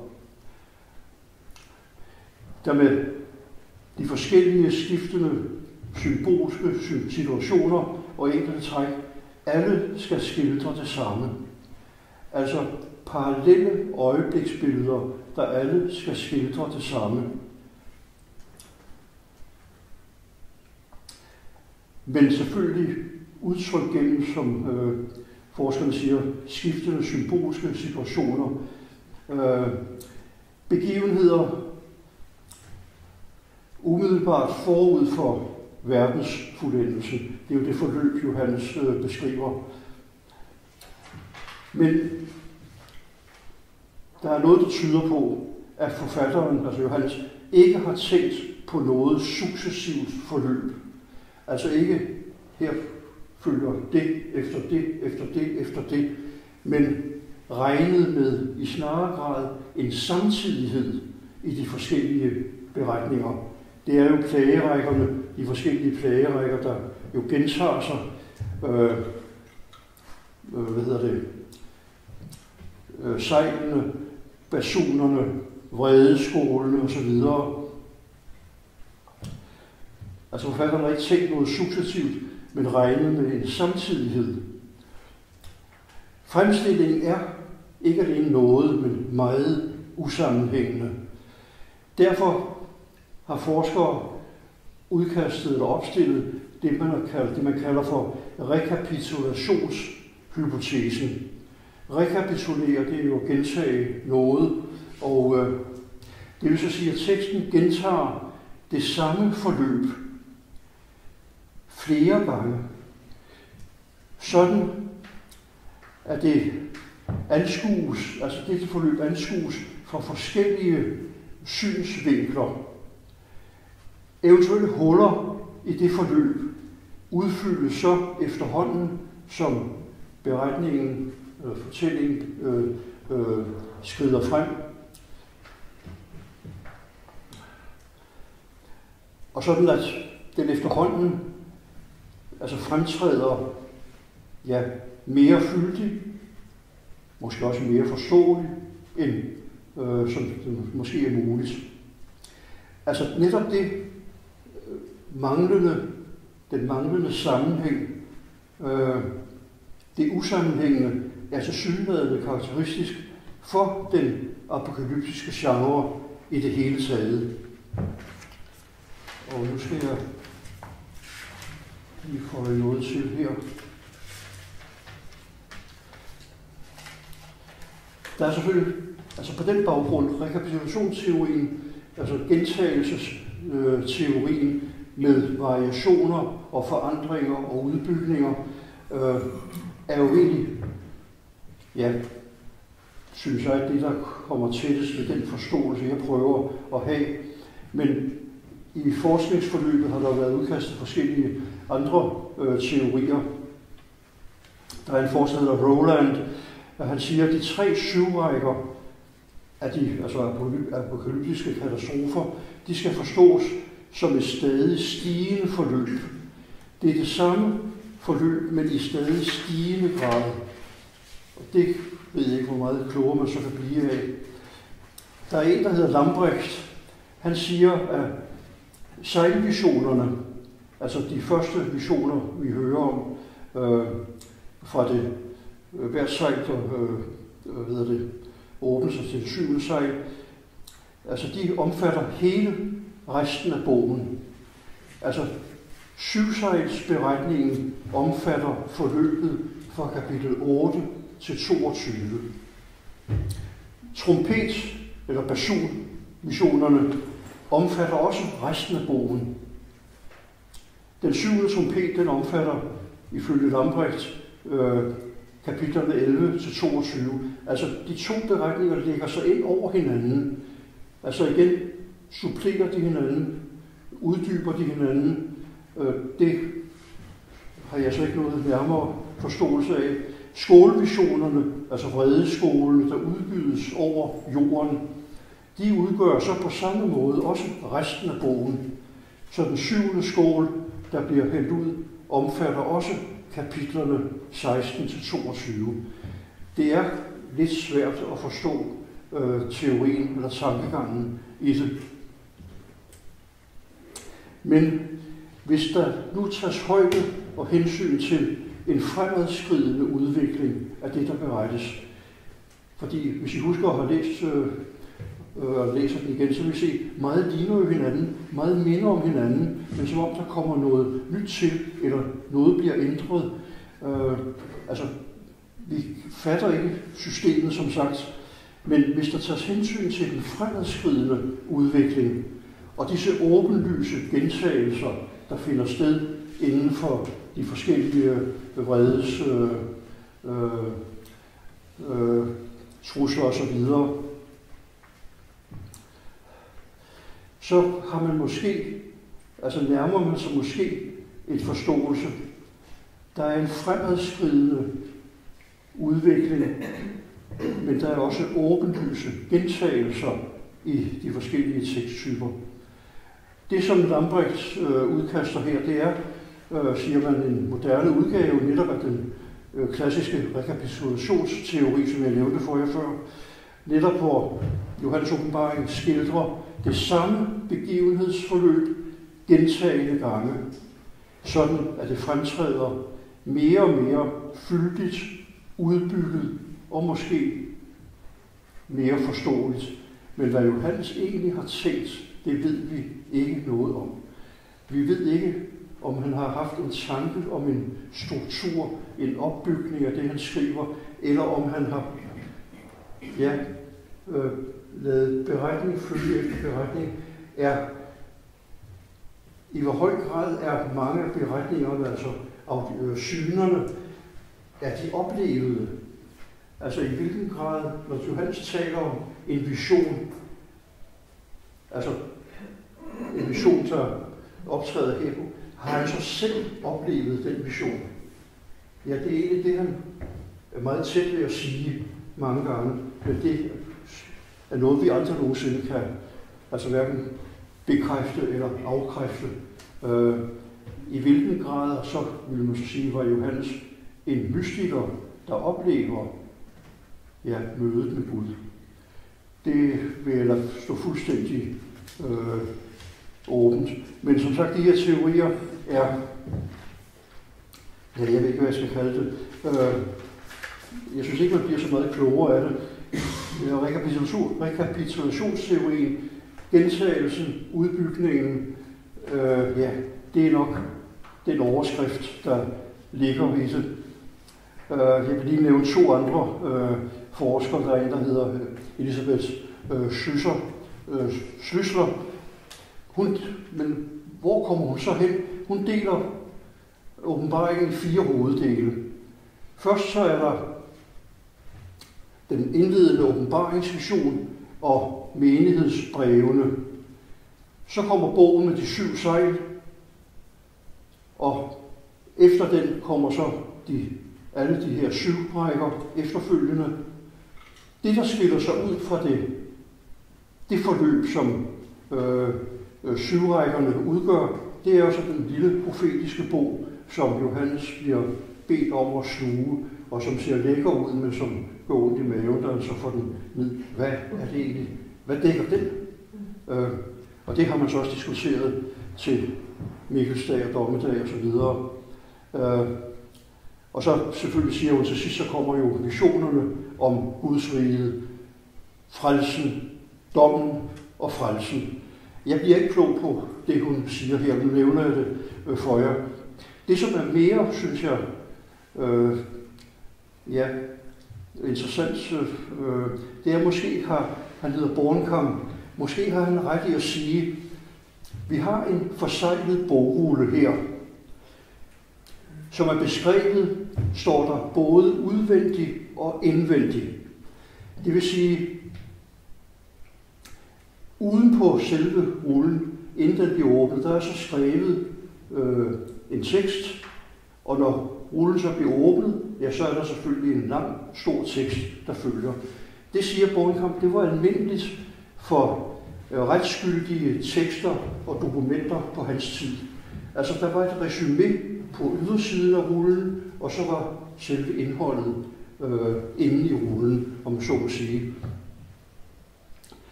Den udvendige tekst, det er det første, vi hører om. De første seks sejl, det er kun forløbige. Øh, det har kun en forløbig karakter. Det er ligesom en ufuldstændig indledning til det, der skal komme, siger Bornkamp. Den egentlige tekst, det kommer først frem efter, at det syvende sejl er brudt, og bogen jo så er blevet åben. De syv sejl, deres forløb, siger han, det er en forløbig fremstilling af, hvad der for alvor skal sættes i værk, når det syvende sejl er brudt. Altså de foregående øh, seks sejl, vil vi så sige. Det er det forløbige. Øh, bogens egentlige indhold følger efter. Først antydningsvis, siger han, og i fragmenter, fragmentarisk, og så senere hen mere, hvad skal vi sige, mere uddybet, mere øh, øh, fyldigt. Men I kan nok se, det er svært at få, hvad skal man sige, meget hjælp af de her teorier. Undtagen, at der nok må være tale en form for gentagelse, videreførelse, udbygning, supplering, men systemet, det er som om det smutter og svinder mellem fingrene, selv på de mest lærte. Øh, og øh, altså, som Pierre Born kom til sidst, ja, så kommer jo så den, den endegyldige og fuldstændige afslutning. Der lægges op til den, den bygges op, og så kommer den som en, ja, en fuldendelse. Øh, det korte lange er, plagerækkerne har til synligheden ikke nogen kronologisk fortsættelse, eller bare en, altså en blot og bare gentagelse. Den ene række af visioner udvikler sig ligesom af den anden. Altså der er ligesom et, hvad skal vi kalde det, et øh, vitalt princip, et livsprincip, et kraftprincip, der gør, at en række visioner kan udvikle sig af øh, den foregående. Og som, som sagt, de følgende kommer så til at efterhånden mere og mere videreudvikle og udfolde det, som var begyndelsen på det hele. Ja, det var ikke nogen særlig klar øh, gennemgang, men det er selvfølgelig også et spørgsmål, man stiller sig, når man læser, øh, hvordan sådan hænger det her sammen. Men heldigvis kan man læse det lige nøjagtigt, som Johannes har skrevet det. Et forløb, som ikke har nogen struktur eller inddeling, men som bare er den ene scene vekslende efter den anden. Og det er jo nok den eneste og den bedste måde, vi kan læse Johannes åbenbaring på, uden at skulle altså at plage os selv med alt for mange spørgsmål om, hvordan hænger den her nu egentlig sammen i en dybere forståelsesramme. Øh, jeg skal lige se.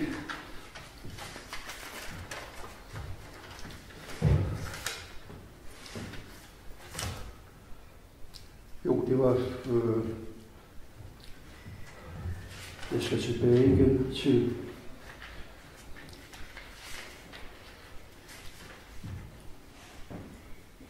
Jeg skal tilbage til den forestilling, som optræder på et tidspunkt, nemlig tanken om tusindårsriget. Og øh, nu skal jeg lige finde øh, mine notater til det. Øh,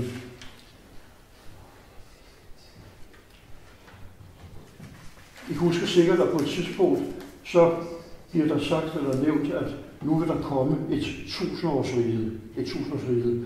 Øh, Satan er foreløbigt nedstyrtet i undergrunden, men vil dukke op på et senere tidspunkt igen. Der følger altså endnu en kamp, men efter den nedstyrtning, og det vil sige efter at, ja, at de dynamiske øh, magter på jorden er, hvad skal vi sige, ligesom øh, undersvunget, så kommer der en tidsperiode.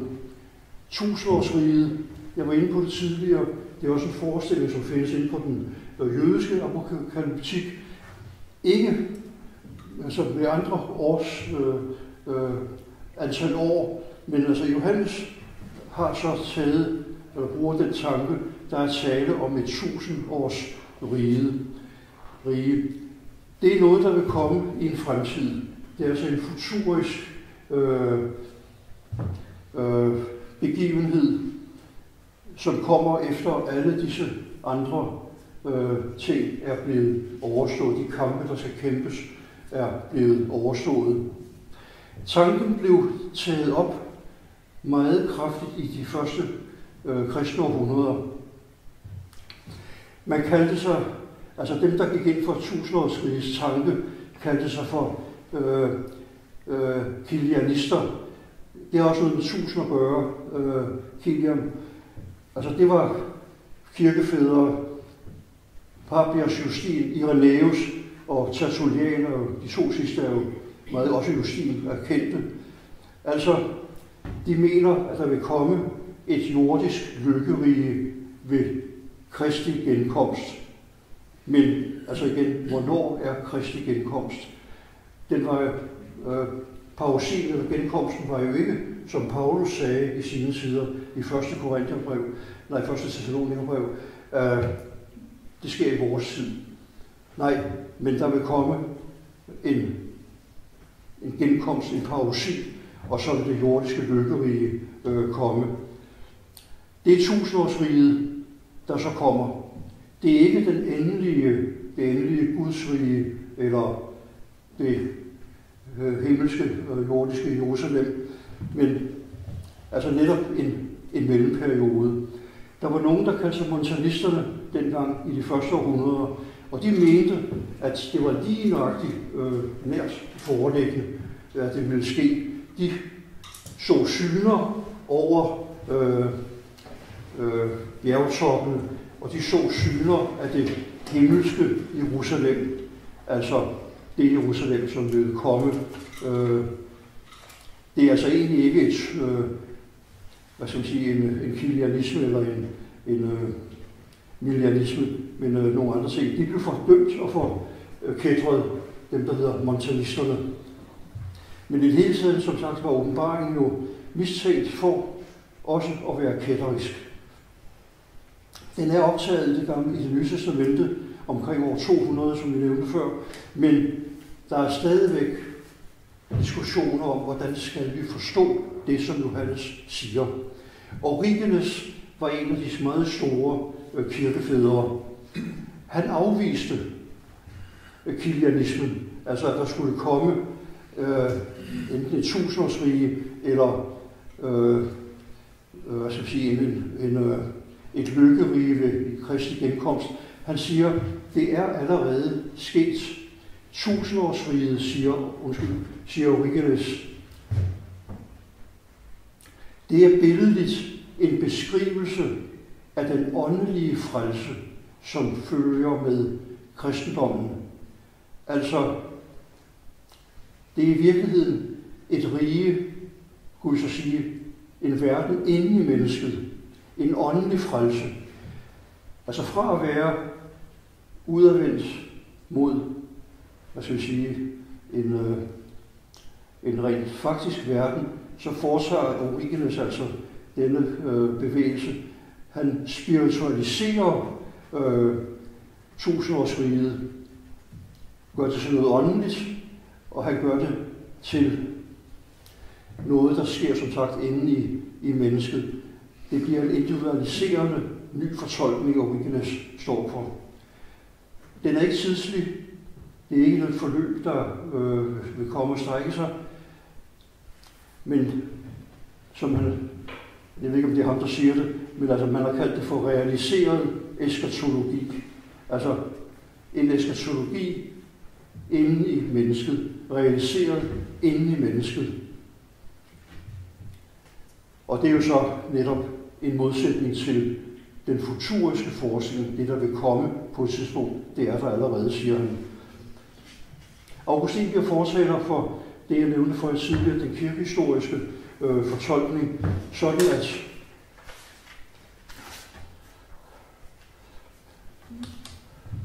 jeg skal lige se, hvor vi er henne. nu. Sådan at øh, Johannes åbenbaring i virkeligheden skildrer episoder i kirkens historie. Altså, tusindårsriget er ikke noget, der kommer på et tidspunkt, men tusindårsriget er en periode, der er øh, i kirken, altså ifølge Augustin, han er fra 300-tallet og lidt mere til. Øh, altså, forløbet af tusindårsriget er inden for kirkens historie. Det er en beskrivelse af kirkens egen periode. Det er altså igen et, øh, ja, et helt andet øh, synspunkt. Øh, altså det andet også en Origenes. Her er jo en, en faktuel verden, der finder sted. Altså for ham er tusindårsriget den kollektive menneskelige virkelighed, der forløber. Det er en jordisk størrelse. Men tankerne omkring ja, tusindårsriget, verdens ende, verdens undergang, det var jo tanker, der var bredt ud i mange, mange forskellige retninger og sammenhænge, i mange forskellige øh, grupper. Øh, omkring årtusindskiftet, der mente man jo, altså det er tusind år efter Kristi fødsel, der var der folkelige bevægelser, der gik ind for, at nu var verdens ende nært forestående. Altså tusindårsriget var nært forestående. Og igen omkring år 1300 og lidt mere til 1300-tallet, der har man jo så tusindåret fra, øh, altså fra den kristne kirkes etablering i 300-tallet af Konstantin. Der er så igen gået tusind år der. Og der har man så også ja, folkelige bevægelser, sekter og forskellige, der forventer en, øh, ja, en forvandling, nej, ved det, en, øh, altså en, en verdens undergang eller et tusindårsrige, der kommer. Netop den sidste tanke der, altså i 1300-tallet, der var jo mange folkelige bevægelser, der, ja, der bevægede sig rundt omkring i Europa. Der er en bestemt gruppe, som, øh, ja, som ikke går så meget bemærket dengang, men som også huskes den dag i dag. Det er jo det, man kaldte for flagellanterne. Flagellantisme, det er, at man pisker sig selv, samtidig med, at man går fra by til by, fra landsby til og så videre, og forkynder verdens undergang er ganske nær. Det er pudset. Øh, herhjemme har øh, Ike Jacobsen netop skrevet en novelle om flagellanterne. Så af en eller anden grund, du skal ikke nærmere i det her øjeblik, men øh, det har så gjort indtryk på ham også med de her flagellanter. Men det korte lange, altså de århundreder her, der er der bevægelser, altså af netop øh, kilianistisk art, altså verden går muligvis snart under, og det er en følelse, det er en bevægelse, det er en bevægelse, der forstærkes mere og, og mere, netop i 1200-tallet. Også fordi der bliver forkyndt en ny fremtidsvision. Nu kan vi selvfølgelig ikke sige, at almindelige mennesker kender øh, filosoferne eller teologernes øh, skrifter, men altså, der må have været de århundreder her en eller anden, jeg vil sige, bevidst og ubevidst følelse af, det hele er ved at slutte nu. Det hele er ved at gå under. Øh, vi, må, vi afventer øh, den snarlige, øh, verdens snarlige undergang. Men en meget fremtrædende teolog eller filosof, Joachim de Fjorde, øh, han fortæller også noget om verden, der nu ændrer sig. Det er ikke et tusindårsrige, der opstår. Det er ikke hedder det, verdens og jordens undergang, men det er, siger han, verden bevæger sig nu for det, han kalder syndens, altså Kristi, øh, syndens tidsalder til åndens tidsalder. Og det er så noget, der har gjort utroligt øh, indtryk på mange forskellige mennesker. Dante, som vi har talt om tidligere her, har også læst øh, Joachim de Fjorde og været eller kendt til hans øh, øh, tanker. Altså, der sker en bevægelse fra syndens tidsalder til åndens tidsalder, en kvantitativ, øh, altså bevæges ind i en kvantitativ anden tilværelse på jorden. Altså det er igen ikke en tanke, der har egentlig noget med tusindårsriget at gøre, eller som nævnt med, med øh, eskatologi eller verdens undergang, men verden vil forandre sig og blive til en bedre verden. Det har fået indtryk på utrolig mange mennesker, de tanker her. Og nu har vi, øh, Martin selv om, at det næste, jeg vil prøve at fortælle om herinde, det er øh, Frans af Assisi. Han var jo øh, stifter af, som I ved, øh, den munkeorden her. Men efter hans død, så sker der altså en spaltning også. Man, der sker øh, to bevægelser i hvert fald. Øh, går, ja, to grupper går i hver sin retning. Den ene bliver kaldt for den spirituelle, øh, spiritualisterne, den anden gruppe bliver kaldt for konventionalist, konventionalisterne. Men netop spiritualisterne, de har kendt til Joachim de Fjordes tanke, netop om, at det for det er på det spirituelle plan, det foregår. Altså de overholder egentlig Francis tanke om, at alt ejendom og al besiddelse skal fornægtes, mens de, deres modsætning konventionalisterne, de går ind for, at der skal øh, bygges klostre, man skal eje kloster, man skal eje jord osv. Men altså netop den spirituelle, og det er jo det, som Joachim Fjord taler om også, det er en spirituel oplevelse af forandring af verden, der, øh, der vil ske. Øh, nu skal jeg lige se. Jo, jeg kan lige få til, at netop den tanke, altså øh, at verden vil forandre sig, har til synligheden påvirket øh, mange øh, andre, øh, altså munkebevægelser også. Jesuiterne blev sendt over til øh, det, Sydamerika for at missionere i sine sider.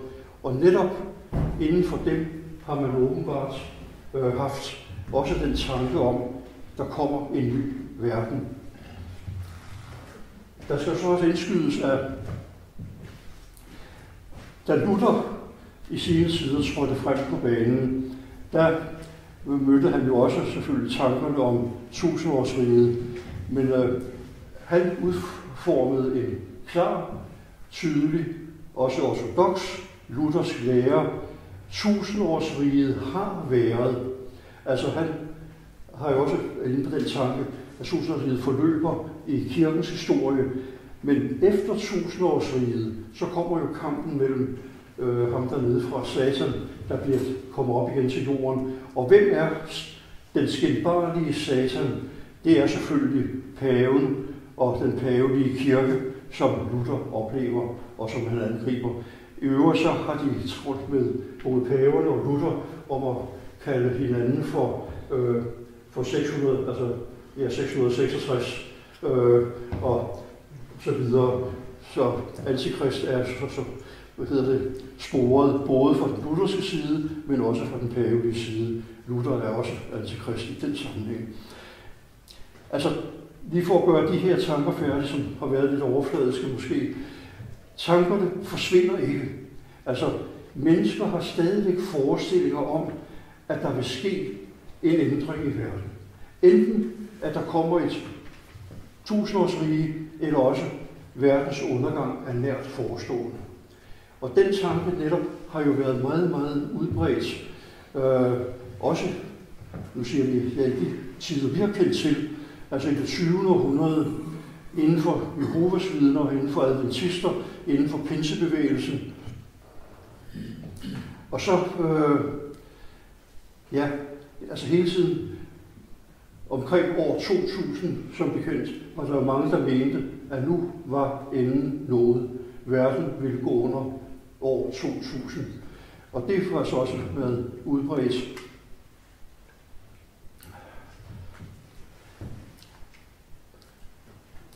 Der skal så lige nævnes, at i alle disse tanker og forestillinger, der er det, man kalder den præ-militaristiske øh, øh kilianisme, for nu gør det meget besværligt. Altså, den indbefatter så også kristi genkomst før tusindårsriget, og måske også i nogle sammenhænge kristi genkomst før verdens undergang. Og det er jo så det, som Johannes også til en vis grad øh, fortæller. Det er ikke helt klart, om Jesus eller Kristus er nærværende i hans tusindårsrige, men efter tusindårsrige, der træder Kristus frem, og de sidste tider får så deres forløb, og de sidste kampe bliver kæmpet. Men altså som sagt, tankerne fortsætter øh, ned igennem århundrederne i, i Europa, også i, altså i England og i, i Amerika. Øh,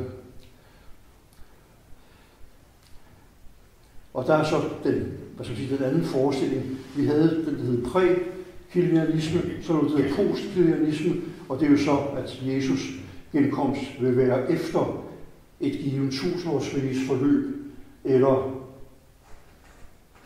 Ja, ikke efter jordverdens undergang, fordi der er han jo så involveret. Altså det er tanker, der går på kryds og tværs alle mulige steder øh, hen. Øh. Men i hvert fald, så har man også i den, hvad skal man sige, optimisme, som kom over de europæiske øh, samfund, efterhånden som teknikken udviklede sig. Man fik mere og mere så at sige, styr på produktionen, på øh, maskinerne. Altså det var som om, der var en ny fremtid i vente. Altså en ganske materiel fremtid, men også altså en fremtidstro for den europæiske civilisation. Vi er ved at udvikle en verden med styr på, ja, på både naturen og på øh, produktionen og på økonomien osv. Der venter os en ny verden, men der er vi altså inde i en helt anden ny verdens forestillingssfære øh, øh, her. Det er en politisk utopisme, kunne man kalde det, og det er også en, hvad skal vi kalde det, industriel øh, optimisme. Ja, nu skal jeg lige se, hvor vi er kommet til.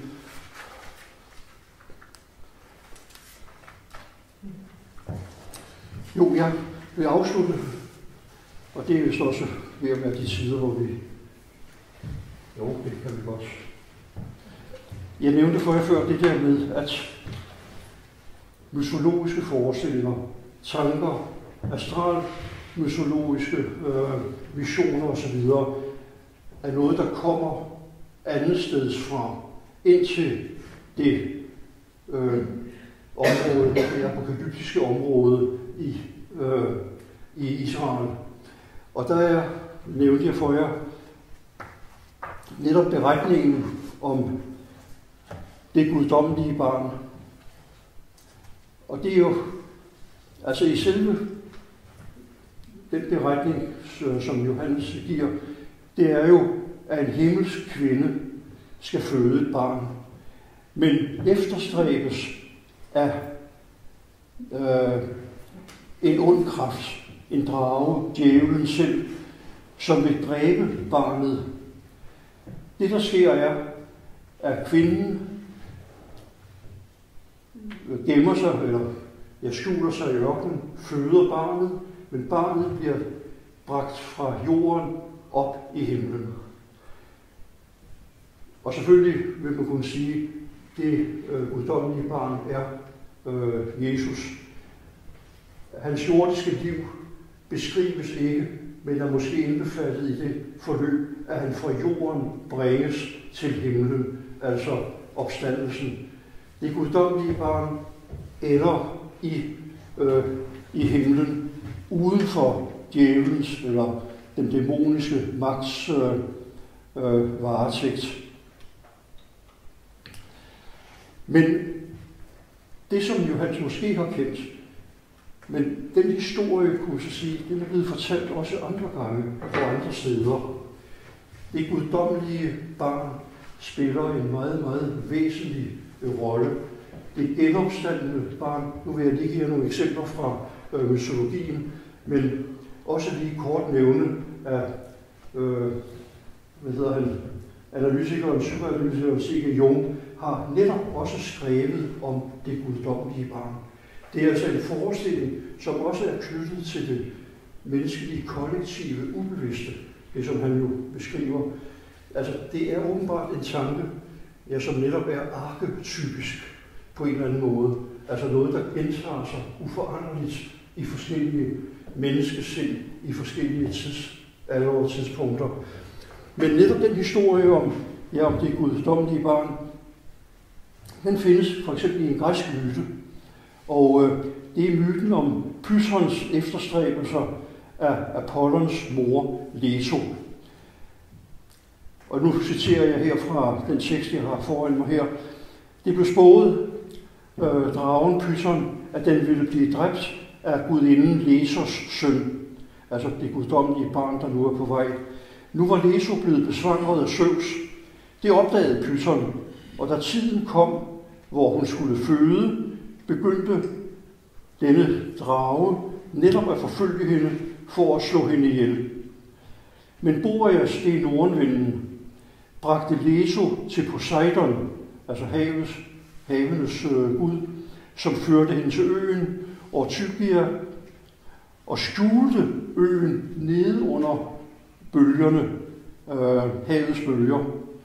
Pyson kunne ikke finde Leso og må vende tilbage med øh, uforandret, øh, sag. Han får altså ikke slået Leso ihjel, eller øh, altså sønnen, som jo er, øh, hun er besvangret, men har ikke født endnu. Så føder Jesus sin søn. Det er guden Apollon. Og allerede på fjerde dagen efter fødslen, der iler han op til Parnasset, altså der, hvor disse øh, kræfter samles, og dræber dragen Python. Vi har altså igen kampen mellem de dæmoniske magter og det guddommelige barn, efterstræbelsen efter det guddommelige barn. Øh, den samme historie findes også i den egyptiske udgave. Der er det historien om Isis og Osiris. Øh, Isis skal føde øh, solguden Horus, men hendes, jeg vil kalde det ægtemand, det er jo, det er jo vi er i gudeverdenen, Både Isis og Osiris er egyptiske guder. Han er blevet dræbt af enten i nogle sammenhænge en øh, dragegud, der hedder Tyfon, eller også af hans egen bror Set.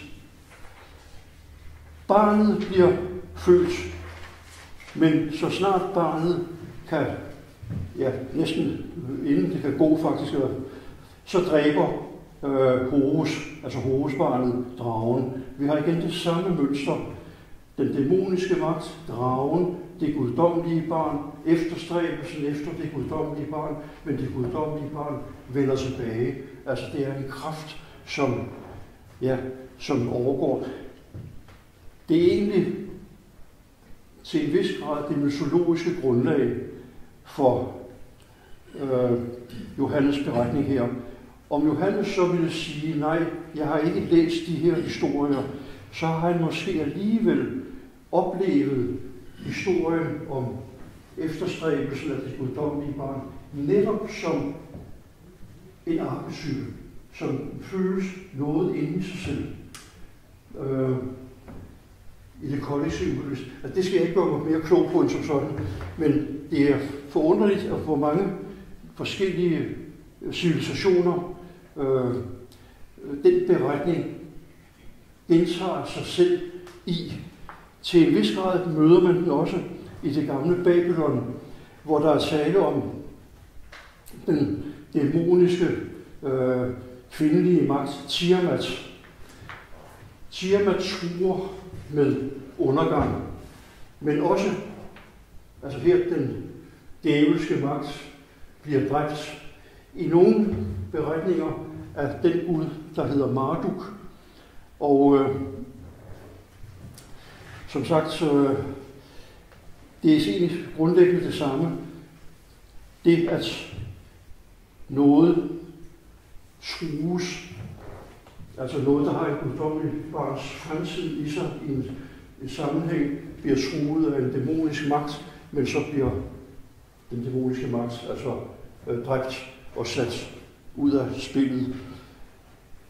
Ja, det var sådan set, men det, jeg vil ikke gøre noget som helst forestilling om, at det her er en, en fortolkning af, af, af Johannes, men det er bare forunderligt, hvordan, og det kunne også nævnes andre eksempler rundt omkring i øh, åbenbaringen, hvordan man aner netop mytologiske forestillinger bag noget, der kommer andre steder fra, men som også til en vis grad er almen menneskeligt.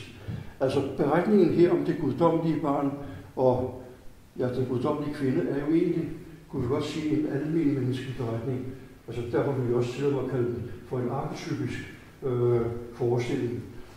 Men nu vil jeg som med de her ord afslutte, øh, som sagt, øh, det jeg har at fortælle om øh, Johannes åbenbaring, og det vil så sige, hvad så kalde det, realkommentaren til, jeg vil kun anbefale at genlæse historien igen, og så måske erindre nogle af de træk, der er sagt her. Det er ikke nogen uddybende fortolkning, tværtimod. Det er at bringe nogle antydninger frem omkring nogle tanker, der man har gjort sig omkring med Johannes åbenbaring, som jo, der er ikke nogen ende på, som sagt, hverken på Dante eller på Johannes åbenbaring. Men jeg siger tak for i aften.